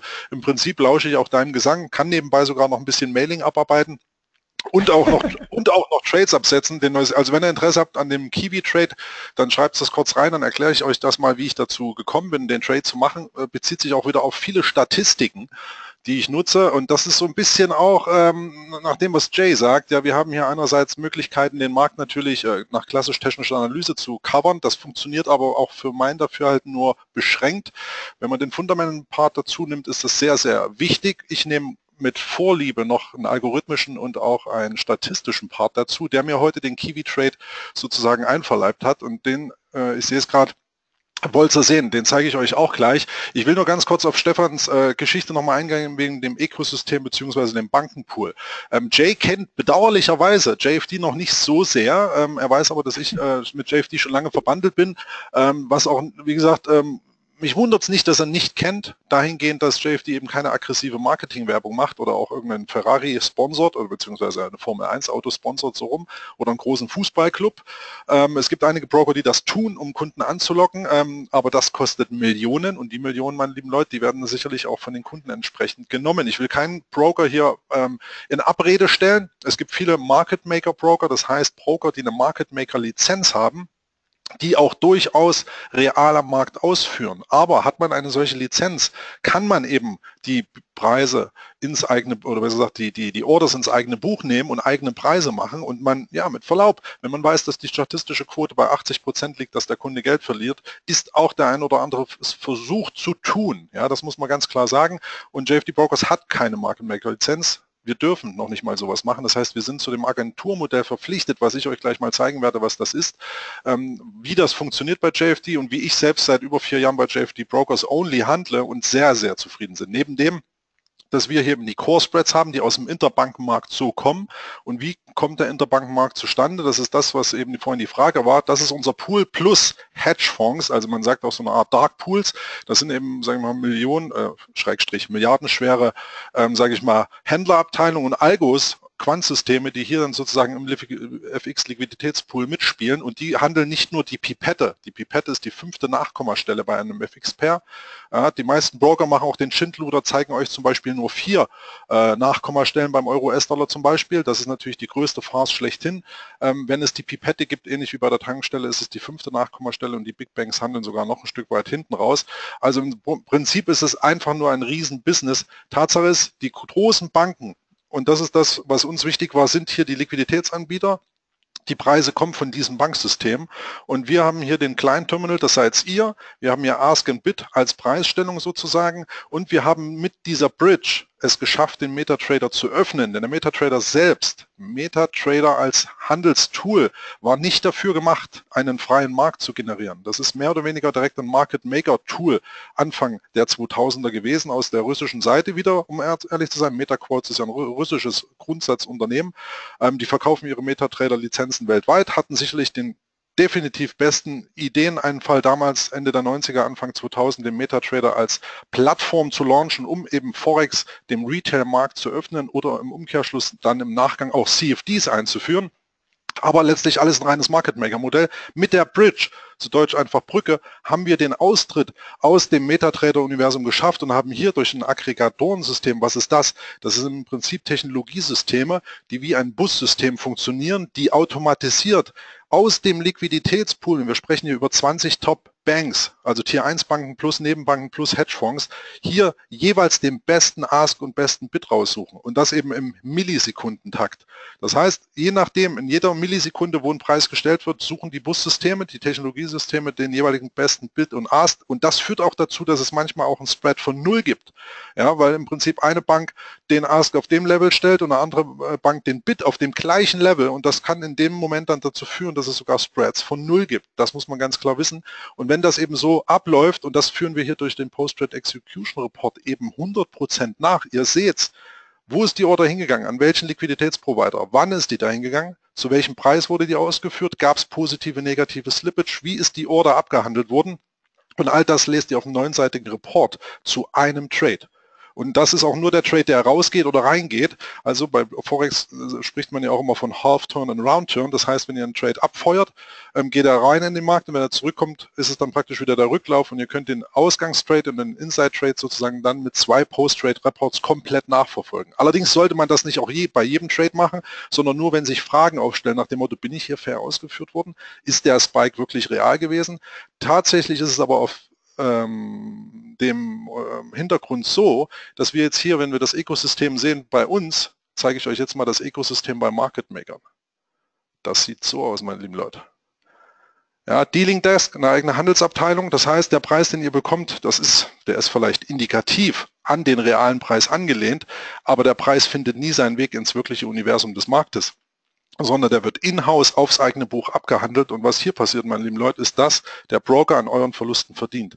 Und das ist ein riesen Interessenskonflikt, den wir uns aufgrund der Market Maker aufgrund der fehlenden Market Maker Lizenz schon mal gar nicht stellen können, sondern wir sind verpflichtet, den Trade durchzurouten und das ist genau das, wofür wir stehen und warum wir eben auch eben hier organisch in den letzten fünf Jahren gewachsen sind. Und Jay, wir sind sehr beliebt bei Family Offices und kleinen Vermögensverwaltungen, weil die genau das zu schätzen wissen und eben auch dann über den Eckpunkt der, der, der Partnerschaft, Kommunikation, Vitamin B, ein bisschen reden, wen kennst du, wo handelst du, sozusagen dann früher oder später tatsächlich bei uns landen. Und du glaubst gar nicht, wie viele ähm, Interessenten ich seit kurzer Zeit bekomme, weil es zwei Broker, die auch in Deutschland gelistet sind, gibt, die derzeit ein bisschen Schabernack treiben in Sachen Preisausführung. Und das hat wirklich eine Welle zu uns geschlagen, die ich nur willkommen heiße, weil nämlich wir können profitieren, wenn profitable Händler zu uns kommen und ich sage mal, Family Offices und größere Vermögensverwaltungen haben natürlich Interesse für ihre Kunden Gelder zu verdienen und sind eben auch aus dem Bereich der, des äh, Bankings und des, äh, der, des Finanzwesens und die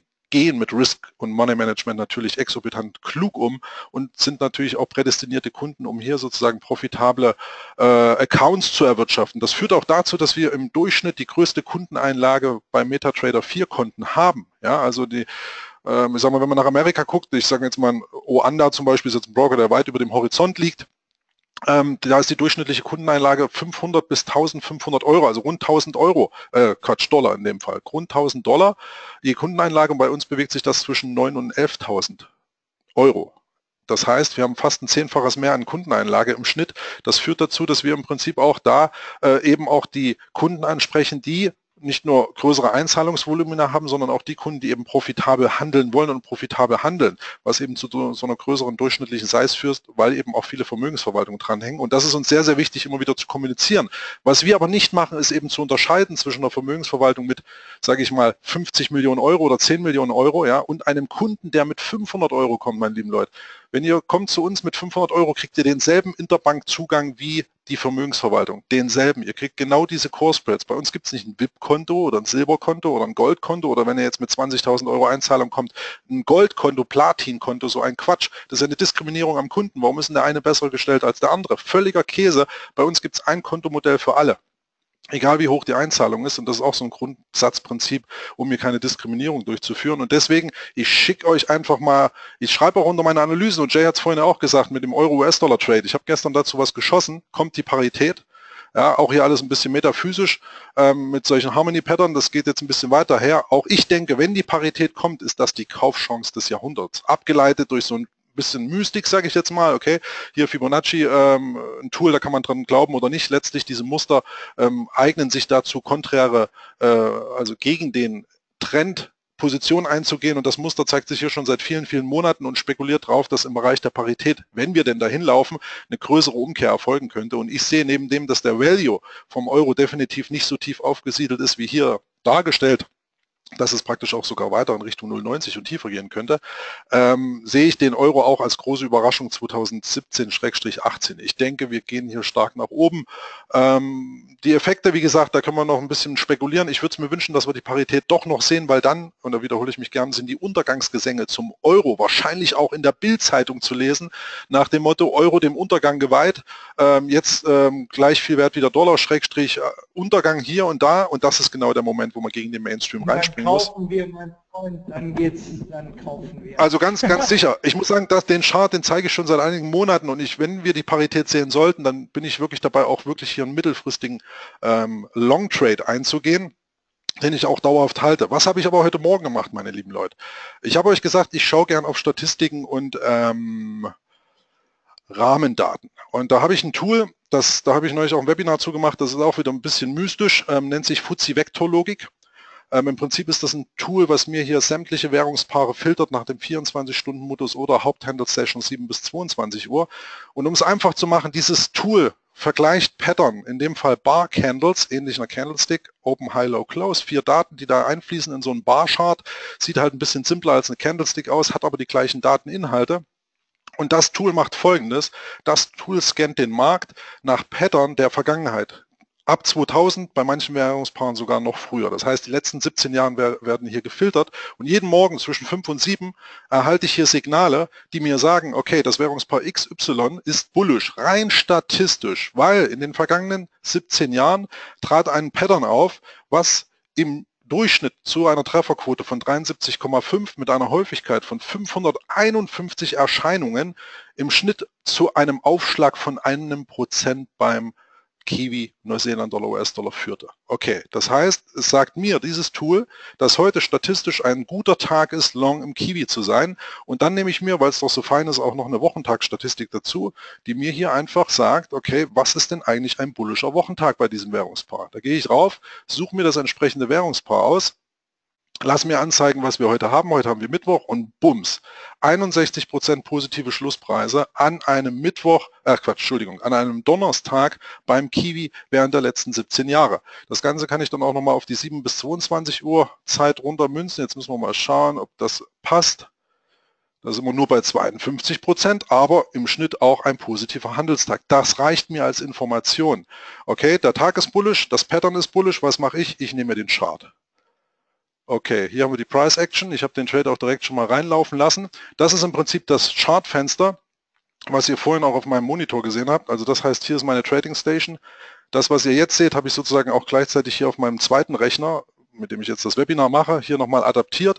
So sieht das letztlich aus. Das Tool hier oben kann ich euch gleich auch nochmal zeigen, hängt nämlich auch mit Statistik zusammen, was mir dann im Prinzip auch Folgendes beschert hat, nämlich zu sagen, okay, der wird wohl weiter anziehen. Tatsache ist, wir haben hier, wie Jay vorhin schon darstellte, sein Tool, was ich wirklich zu schätzen weiß, weil neben dem Trend Trading, was ich beim Rainbow Trading ja mache, hatte ich vorher eben auch ein Tool, was indikativ hier ableitend auf dieses Tool. Das Tool hier im Übrigen, die Zahlen nicht verwirren lassen, das Tool scannt 148 Indikatoren im Timeframe M15 nach überkauft, überverkauft ähm, und gewissen Parametern und die Werte sagen mir einfach, über 50 wird es bullisch, unter 50 Prozent wird es bärisch. Zwischen 50 und 50 ist es im Prinzip ein neutrales Pattern. Neuseeland-Dollar, US-Dollar hier mit 63 Prozent sozusagen in einem bullischen Modus und das kann sich hochschaukeln bis 99 Prozent. Im Prinzip, wie gesagt, rein indikativ, Indikatoren und darauf hatte ich auch früher eine Währungsstärke-Geschichte laufen, aber das jetzt hier mit den einzelnen Währungspaaren gefällt mir, oder nicht Währungspaaren, sorry, mit den einzelnen Währungen gefällt mir noch viel, viel besser, weil wenn ich jetzt die Rahmenbedingungen der Statistiken kenne, hier zum Beispiel auch einen Wert von über 50 habe, dann schaue ich mir entweder, wie Jay das gern macht, im kurzfristigen Trading den M5 an, wenn ich aber ähm, die Fuzzy-Vektorlogik handle, die mir ja hier ein Pattern auf Tagesbasis ausspuckt, dann gehe ich gerne auf den 15 Minuten Chart, weil ich den Trade unter Umständen einfach mal ein bisschen länger halten will. So, hier haben wir jetzt folgendes Fenster, was ich nutze. Hier haben wir die Asia Session. Hat sich also jetzt kommen wir so ein Stück weit neben den statistischen Rahmendaten eben zu den Hard Facts. Und hier haben wir im Prinzip jetzt die Asia Session 30 Pips. Wir haben einen durchschnittlichen well, äh, eine Schwankungsbreite äh, die letzten 14 Tage von 82 Pips. Das heißt, rein technisch gesehen kann es hier heute mit Abschluss der Asia Range beim Kiwi oder hätte es sein können, es hat es ja genau gemacht, ähm, im Prinzip hier nochmal einen Aufschlag geben können von zwei, äh, 32, 52 Pips. Okay, so, jetzt gehen wir mal ein Stück weit in den Chart rein dem Wissen, dass wir hier noch genügend Range haben. Und das heißt einfach, es gibt währungsstarke Tage, ja, wo die Währung hier, wenn wir uns das nochmal kurz angucken, bei der Währungsstärke, hier der Kiwi auch, die knallen da nach oben, da interessiert die durchschnittliche Range überhaupt nicht. Ja, was bewegt sich das Paar in den letzten 10, 14 Tagen? Das interessiert den großen Markt gar nicht. Wenn das Geld gedreht wird, wie das auch vorhin beim British Pfund US-Dollar dargestellt wurde, dann läuft das Ding einfach mal 300, 400 Pips nach oben, 3, 4 Prozent und schießt sozusagen durch die Decke. Aber im Pareto-Prinzip, im großen Mittel bewegt sich zu 80 Prozent der Preis eben doch in dem Durchschnitt. Und das war der Punkt, wo ich gesagt habe heute, okay, der Trade wird für mich interessant, weil der Kiwi generell über Nacht schon stark war. Aus der Asia-Session ausgebrochen ist. Zudem betrachte ich Wochen hoch markante Hochlevel, Vormonatshoch, Vormonatstief, vor Wochenhoch, vor Wochentief. Das sind Level, die wurden vom, Preis, äh, vom Markt gemacht und das ist Price-Action-Niveau. Und wenn wir hier zum Beispiel gesehen haben, dass der schon mal versucht hat, hier auszubrechen über das Wochenhoch der Kiwi, dann aber wieder zurückkam, dann fand ich es umso spannender, wenn er das nochmal versucht und gleichzeitig den von vorhin vom Jay angesprochenen Pivot Point, ich nenne das Ding Fingerabdruck des Vortages, wenn der den Pivot Point überschreitet, dann dreht sich der Bias durchaus in eine andere Richtung. Und genau das ist passiert. Und ich bin genau hier in den Trade reingesprungen. Mein Ausgangsstopp lag hier unten. Ich habe so eine Art Trailing ATR-Stopp, der hier mitläuft bei 21 Pips. Und jetzt habe ich nichts anderes gemacht als mein Take Profit, der hier bei knapp 44 Pips liegt, also ein CRV von 2 zu 1, sehr komfortabel. Mit, äh, mit einem CRV von 2 zu 1 braucht man noch nicht mal eine Trefferquote von 50 Prozent, um hier erfolgreich zu sein dauerhaft. Nein, die braucht man nicht, weil man immer das Zweifache versucht vom Einfachen zu verlieren. Also wenn man Einfache verliert, versucht man einfach das Zweifache zu verdienen. In dem Fall hatte ich hier eine perfekte Ausgangsbasis zum Chance-Risiko-Verhältnis und habe mein Take Profit auf das statistische Tageshoch im Bereich 07198, was ist das hier, 98, 0, 71, 98 gelegt. Genau auf diese Range, die mir im Schnitt sagt, der Kiwi steigt 82 Pips im Schnitt. Der Kiwi ist bislang 84 Pips äh, gestiegen und das war das äh, statistische Setup, was ich einfach abgespult habe. Ich habe einen Pattern gehabt, einen positiven Wochentag, eine Währungsstärke, ein Überspringen des Pivot Points, habe mir ein Target ausgesucht, was im Vergleich zum Risiko lukrativ erscheint und genau das Ding hat er hier punktuell angelaufen. Ich meine, das ist ein Sahne-Trade, sowas findet nicht täglich statt, ähm, aber genau solche Trades muss man spüren, sehen und dann gibt es nur eins, mit Risk Management können wir kontrollieren, dass wir beständig am Markt bleiben und dann kann man nichts anderes machen als abfeuern. Und wenn der Markt es gut meint, dann passiert genau das, was wir heute hier gesehen haben. Der Markt läuft in den Take Profit und nahezu eine Punktlandung im Sachen des statistisch errechneten Hochs. Ähm, wie gesagt, es hätte auch anders laufen können, der hätte das verfehlen können, dann wäre der Trail jetzt hier nachgelaufen, dann wäre ich selbst jetzt sozusagen mit diesem Trade in, äh, Trade in einem Absicherungsniveau der Stop würde jetzt hier automatisch geführt bei 0,7164, okay. Und entweder dreht der Kiwi jetzt hier nochmal irgendwo davor ein und schießt vielleicht noch weiter hoch. Das kann heute Nachmittag alles passieren, ja. Oder aber ähm, er geht hier unten durch, hätte mich aus dem Trade geholt und bumst ihm aus. Ich habe gestern auch einen Trade gehabt, Euro-Yen, ich weiß gar nicht, ob ich den in meinem Street, äh, Stream gepostet habe. Äh, der Witz ist einfach nur der, dass der äh, letztlich, habe ich den hier gepostet, ist ja wurscht. Im Grunde genommen hatte ich das frühest beim Devisenradar auch gecovert, den Trade, genau hier die Idee.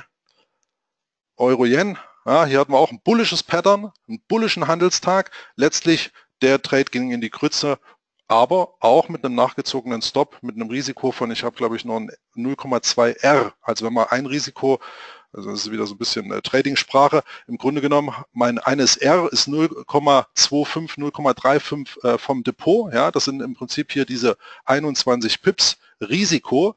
Ja, wenn der Trade aber nachtrailt, also das sind meine, ist mein Startrisiko und alle 15 Minuten, je nachdem wie der Trade sich entwickelt, wird der Stopp ja enger. Ja, mein Risiko verkleinert sich also beim Euro-Yen bin ich gestern mit einem, mit einem R von 0,2 rausgegangen, also mit einem minimalen Risiko letztlich aus dem Trade geflogen, weil es einfach nicht funktioniert hat. Das hätte heute beim Kiwi genauso sein können, ähm, dass der praktisch nicht funktioniert, aber ich habe trotzdem durch das Nachtrailing des Stops mein Risiko sukzessive verhindert und am Ende entscheidet der Markt, ob der Trade was wird oder nicht. Letztlich, wenn es gut läuft, fein. Gestern aber will ich gleich nochmal die Hose runterlassen, hat es im Prinzip nicht funktioniert. Da war der Trade im Prinzip einfach ähm, nicht mit diesem Target versehen, trotz des bullischen Wochentags, trotz des Patterns. Es funktioniert nicht immer. Das heißt, man kann sich hier bedienen an was und noch und nöcher. Ich meine, Jay wird wahrscheinlich jetzt auch schmunzeln mit der Fuzzy-Vektor-Logik. Das ist auch so ein bisschen äh, wo man sagt, okay, kann man damit jetzt wirklich arbeiten? Ähm, ich sage ja, das Tool kenne ich schon sehr, sehr lange. Man muss aber auch hier diszipliniert vorgehen. Man sieht ja hier auch viele, viele Währungspaare, die hier alle Pattern aufweisen. Ja, Euro US-Dollar 7,22 zum Beispiel. Heute bullisches Pattern. Sogar hier das Startpattern am EZB-Tag haben wir sogar mit 580 Erscheinungen Euro US-Dollar. Hochinteressant, ja. Aber was mir hier wichtig ist, passt die Währungsstärke auch dazu passt dazu, dass das große Geld auch diese Pattern-Richtung spielt, dann schießt der Markt auf ein neues Level hoch. Passt das zusammen? Kann man hier einfach auch, sage ich mal, an diesem Trade partizipieren im Sinne der Rahmenbedingungen, die man sich als Trader selbst stecken muss und dann muss man seine Checkliste einfach nur abarbeiten und ganz diszipliniert und Kopf ausgeschaltet den Trade durchführen und eben nicht emotional werden. What the fuck, wie Jay auch manchmal zu sagen pflegt, glaube ich, wenn es eben schief geht, der Trade nichts wird, dann ist es einer von möglicherweise 1000 Trades, spielt überhaupt keine Rolle in der Bilanz. Wichtig ist einfach, dass man sich an sein Setup hält und das kann wie auch immer geartet aussehen. Ja, Das, was Jay hier vermittelt, das ist schon sehr, sehr hohes Level. Was wir hier vermitteln mit den statistischen Quoten, das ist auch wieder eine Geschichte, wo man sagt, hm, ähm, taugt mir das, taugt mir das nicht. Ihr braucht aber ein gewissen, gewisses Rahmenkorsett, wie ihr euch an den Märkten bewegt. Ja, zum einen den fundamentalen Background, um das Big Business zu verstehen, dann aber, wenn ihr in die kleinen Zeitebenen gebt, wie könnt ihr denn hier an dem einen oder anderen ähm, Bewegungsimpuls partizipieren? Und jetzt gebe ich noch einen oben drauf. Ich habe jetzt hier noch den Vector Bull. Das ist genau so ein Tool, wie der Forex Bull, den ich auf Tagesbasis nutze. Und zwar zeichnet mir das Ding hier statistisch rückwirkend ähm, einen theoretischen Verlauf des Kiwis voraus. Ja, also hier von gestern Abend beginnend, äh, wenn ich das Tool hochlade, dieser blaue Fall, ihr seht ja, das sieht, ist die Tendenz für heute Nachmittag. Ähm, das heißt, wir haben hier im Prinzip ein, starken des, äh, ein starkes Level während der European Session. Zur Mittagszeit sehen wir dann die wahrscheinlichen Hochs. Das hätte heute eigentlich 0,72 13 irgendwas sein können oder könnte es sogar noch sein. Wir sehen es hier von der Zeitebene. Aber jetzt denke ich mal rein von diesem statistischen Pool und der betrachtet hier sozusagen auch die vergangenheitsbezogenen Preisentwicklungen und packt das mit der Saisonalität zusammen spricht grundsätzlich vom positiven Handelstag, aber das mögliche Hoch haben wir heute schon laut diesem Tool gesehen.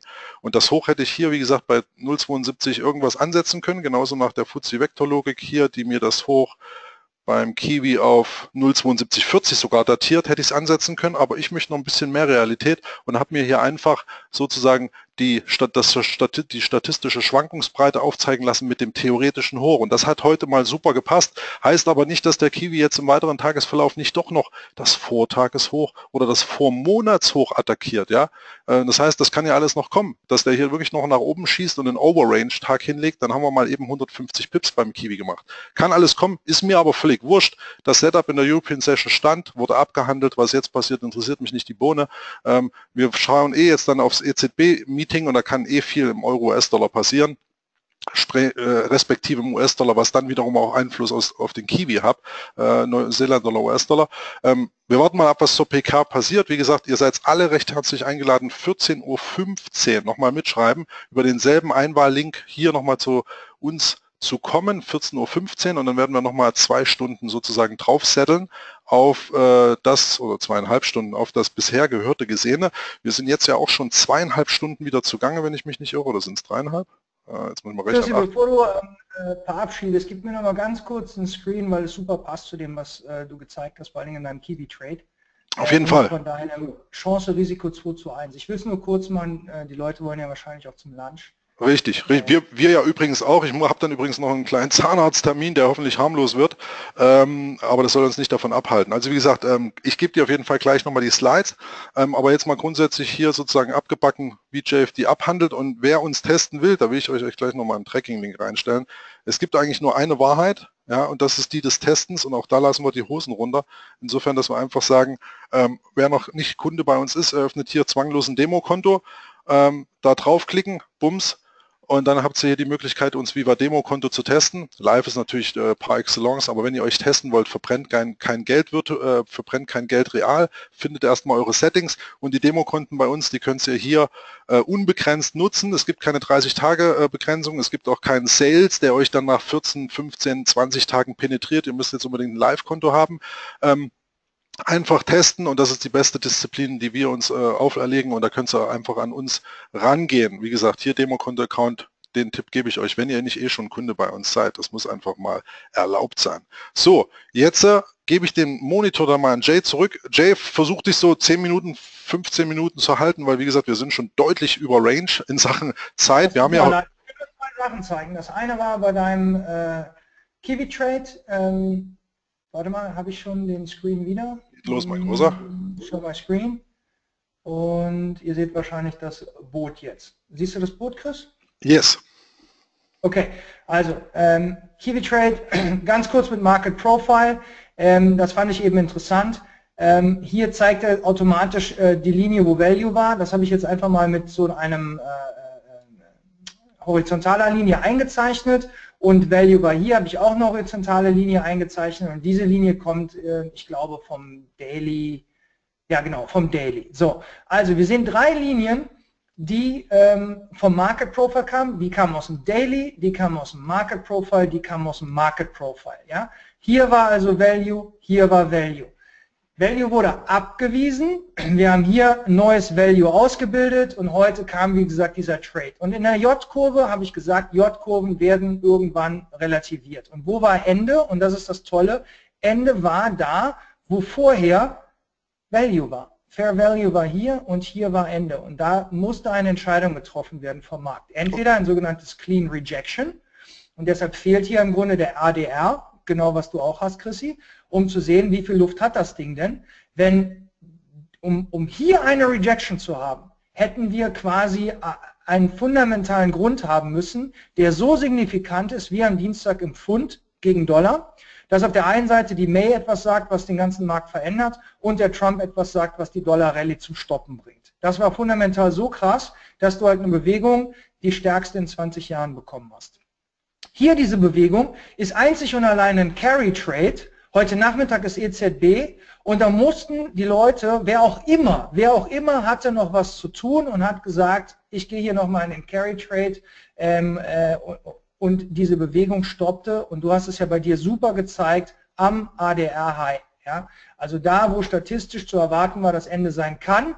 Und du siehst hier ist auch noch Value gewesen vom Vortag und von vorgestern und du siehst, der Markt wird erstmal abgewiesen, hohes Volumen und die Reaktion, das ist der Effort, Effort versus Result und Result ist erstmal abgewiesen zu sein. Aber Jay, das habe ich gesagt, wenn was abgewiesen wird, dann geht es in Richtung Value oder hier Pivotpunkt oder hier war eine Balance Area, das können wir sehen.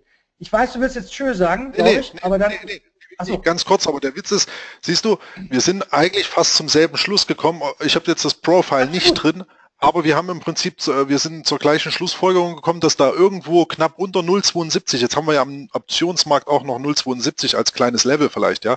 Das ist jetzt Richtig. beim Kiwi oder US-Dollar jetzt auch nicht so die Maßgabe, aber ich sag mal, da haben wir noch eine Round Number. Das ist am Forex-Markt auch geil, genau wie DAX 10.000 oder Allianz-Aktie 100 Euro. Das sind runde Level, da schaut der Markt drauf und da haben wir im Prinzip wirklich eine Area, die sich aus verschiedenen Punkten ableiten lässt. Aber unterm Strich kommen wir alle zu dem Punkt da oben. Entweder kommt da wirklich ein richtiges Movement oder der Preis wird erstmal abgewiesen. Ja? Also Gewinnmitnahmen beziehungsweise Teilverkäufe, was auch immer, das hängt wieder vom Money Risk Management ab, äh, sollten in dem Bereich definitiv durchgeführt werden. Und jetzt, gerade Money Risk Management, zeig uns mal, was du mit deinem CAV uns bieten willst.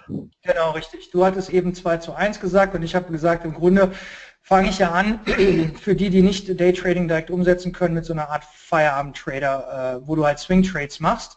Äh, die Regeln sind sehr simpel. Und auch da, ich gehe mit einem Chance-Risiko von 1,5 für die rein in einem Lernschritt, weil ich erstmal möchte, dass die äh, Teilnehmer möglichst häufig ein Erfolgserlebnis haben, um motiviert zu bleiben, um weiterhin in die Charts zu sehen. Ja? Wir sind ja in dieser Alles-Umsonst-Welt heute und wenn nicht sofort irgendwie ich äh, mit der Wunderpille 10 Kilo abnehme, dann habe ich keinen Bock mehr, die Pille zu nehmen. So, hier ist es aber so, das ist eine Monte Carlo Simulation aus einem Excel-Sheet. Das war das Excel-Sheet und ich wollte nur Folgendes zeigen. Wir arbeiten in einem Beruf, wo alles am Ende passieren kann. Wir unterliegen der sogenannten Zufälligkeit des Marktes. Ja? Wir können mit verschiedenen Techniken und Methoden, fundamental und technisch bedingt, sehr gute Prognosen abliefern, die wir dann auch handeln müssen. Wenn du sie nicht handelst, wenn du einen guten Trade dir geplant hast und ihn nicht umsetzt, bist du bei einem psychologischen Problem. Wenn du einen Verlierer hast und du dann anfängst, sogenanntes Rache-Trading zu betreiben, hast du eine psychologische Herausforderung, an der es mit deinem Mentor oder Coach zusammen gilt, dann zu arbeiten. Das autodidaktisch hinzubekommen, ist quasi schwierig. Was ich hier zeigen möchte, ist, das ist Startkapital 10.000, was auch immer, sagen wir mal Euro. Risiko pro Trade ist 1%. Du hast nur 50% Gewinner. Nur jeder zweite deiner Trades 50% Gewinner, das ist ja auch das, was du sagtest.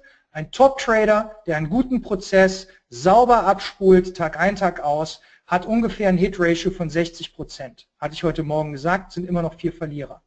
Da dein Gewinner aber 2 zu 1 Chance-Risiko hat, ist es hier so, obwohl du zwölf Verlierer in Folge hattest, hast du in dieser Periode von, wie viele Trades waren es hier?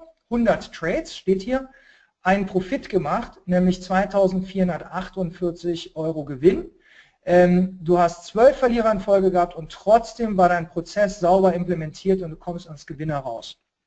Ein Lernschritt bei mir ist zum Beispiel, dass Teilnehmer 100 Trades nach einem bestimmten Regelwerk abarbeiten müssen. Müssen, nicht können, müssen. Ja?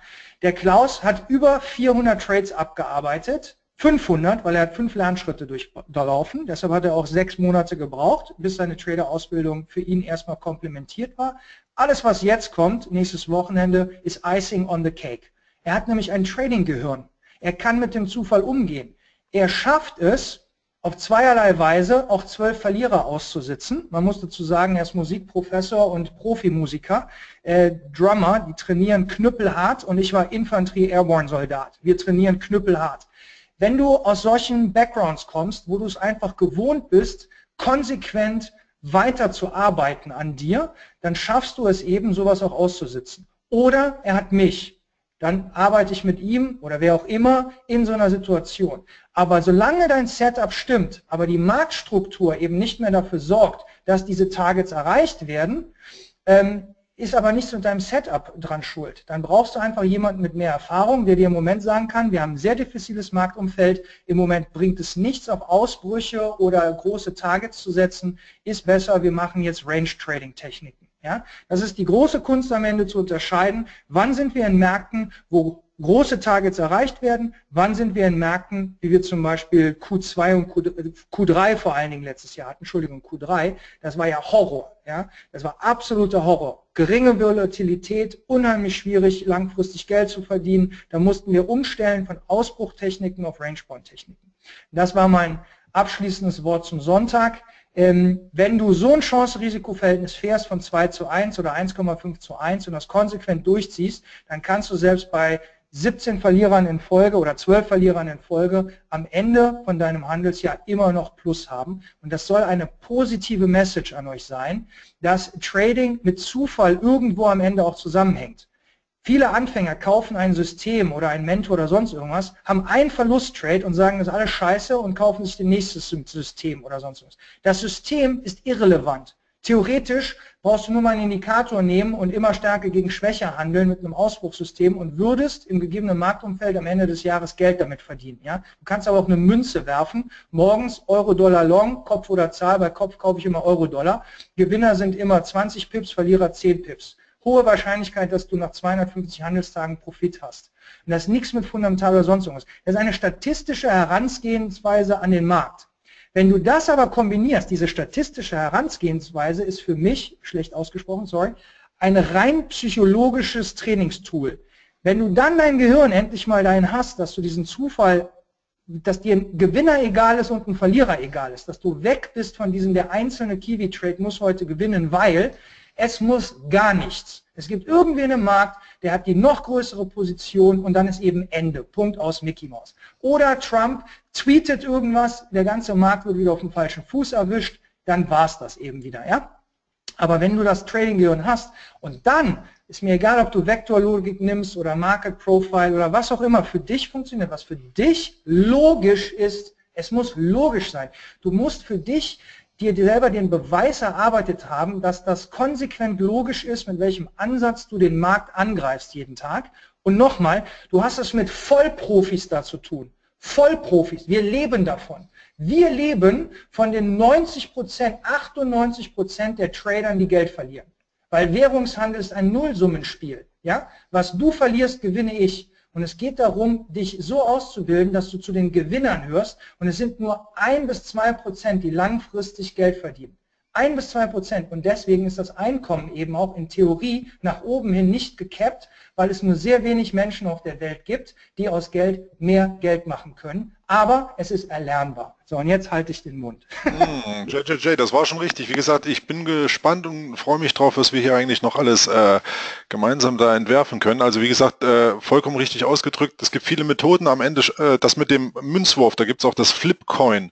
Konzept. Ja, also da gab es direkt einen Trader, der hat den Bund Future ein Jahr lang nach Münzwurf gehandelt. Der hat am Ende des Jahres 80 Prozent Rendite gehabt. Der hat jeden Morgen einfach nur Long oder Short getradet und hat seine Rendite dadurch erzielt, dass er im Prinzip äh, Trendfolge den Trade lange ausgereizt hat, wenn er für ihn lief. Ansonsten hat der Stop gegriffen und er hat immer versucht, mindestens 2 zu 1 zu verdienen oder auch mehr, wenn das Momentum es hergegeben hat. Und ähm, Flipcoin ist ein guter Beispiel du kannst mit dem richtigen Money Risk Management das selbst bei Münzwurf Trading ähm, tatsächlich hier einen, einen, Vorteil erzielen.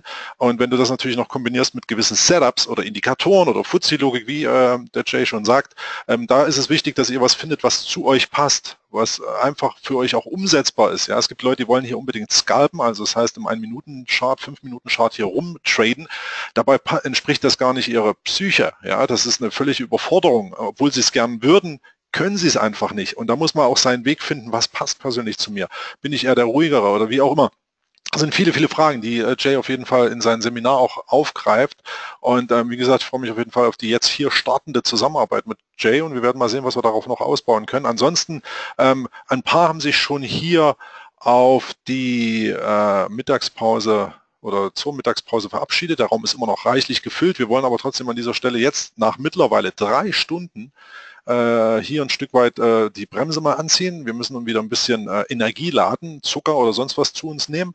Ähm, deswegen heute Nachmittag 14.15 Uhr geht weiter. Und ja, das Webinar wird aufgezeichnet. Wir werden das auf jeden Fall darstellen auf unserer JFD YouTube-Seite, wo ihr auch, ähm, ich zeige es euch mal, das Webinar dann finden werdet, beziehungsweise wir haben hier ohnehin jeden Tag reichlich Action, unser Morning Meeting mit Jens Klatt. Ähm, das er live in Englisch gerade macht. Ups, jetzt kam es schon. Hier haben wir es nochmal in Deutsch. Dann haben wir DAX Long Short Einschätzung, mein JFD Devisenradar, habt ihr jeden Tag. Ähm, und wir werden mal sehen, ob wir Jay, äh, Jays Espresso hier irgendwo auch unterbringen können, beziehungsweise ihr habt ja die Seite von Jay, wo ihr das auch über den Blog sozusagen abrufen könnt und auch auf den Channel von äh, Jay landet. Jetzt muss ich mal sehen, jetzt ist glaube ich der Bildschirm weg. Ich glaube, jetzt ist Ich habe ihn zurückgegeben. Ich glaube, du hast nämlich gerade alles Mögliche gezeigt, aber die haben noch meinen Screen gesehen, was mir. Ach, ach, also, what the fuck. Dann ist es natürlich mein Fehler gewesen, aber äh, im Grunde genommen hier unser äh, YouTube-Channel All Easy. Danke Jay für den Bildschirm. Ähm, ansonsten, ihr habt es ja gehört, was ich gesagt habe und hier Jay sein, sein Blog.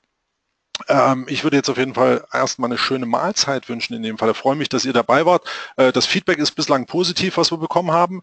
Ähm, das freut mich, dass wir euch da einen Mehrwert äh, vermitteln konnten. Ich freue mich vor allen Dingen drauf, wie wir hier, sage ich mal, die Opportunitäten am Nachmittag einschätzen können, wie Jay sehr, so gern und fröhlich immer zu sagen weiß.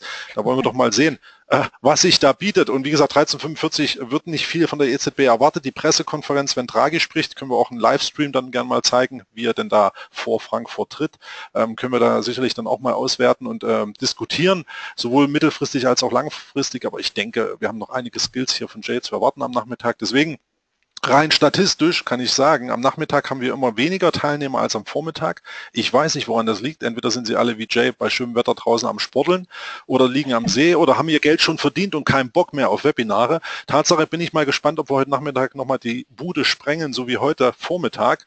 Äh, Inhalte wird sicherlich weitere viele tolle geben. Deswegen sage ich an dieser Stelle äh, vielen Dank fürs Dabeisein. Jay, wenn du noch mal kurz ein Statement, nee, du hast vorhin gesagt das letzte Wort, aber ich gebe dir trotzdem noch mal ein Wort und dann sag mal auf, auch schon dann definitiv äh, gutes Essen sozusagen. Also ich möchte mich einmal bei dir bedanken, Chris. Ähm, äh, das ist schicksalhaftes Zusammenkommen gewesen und macht einfach unheimlich viel Spaß.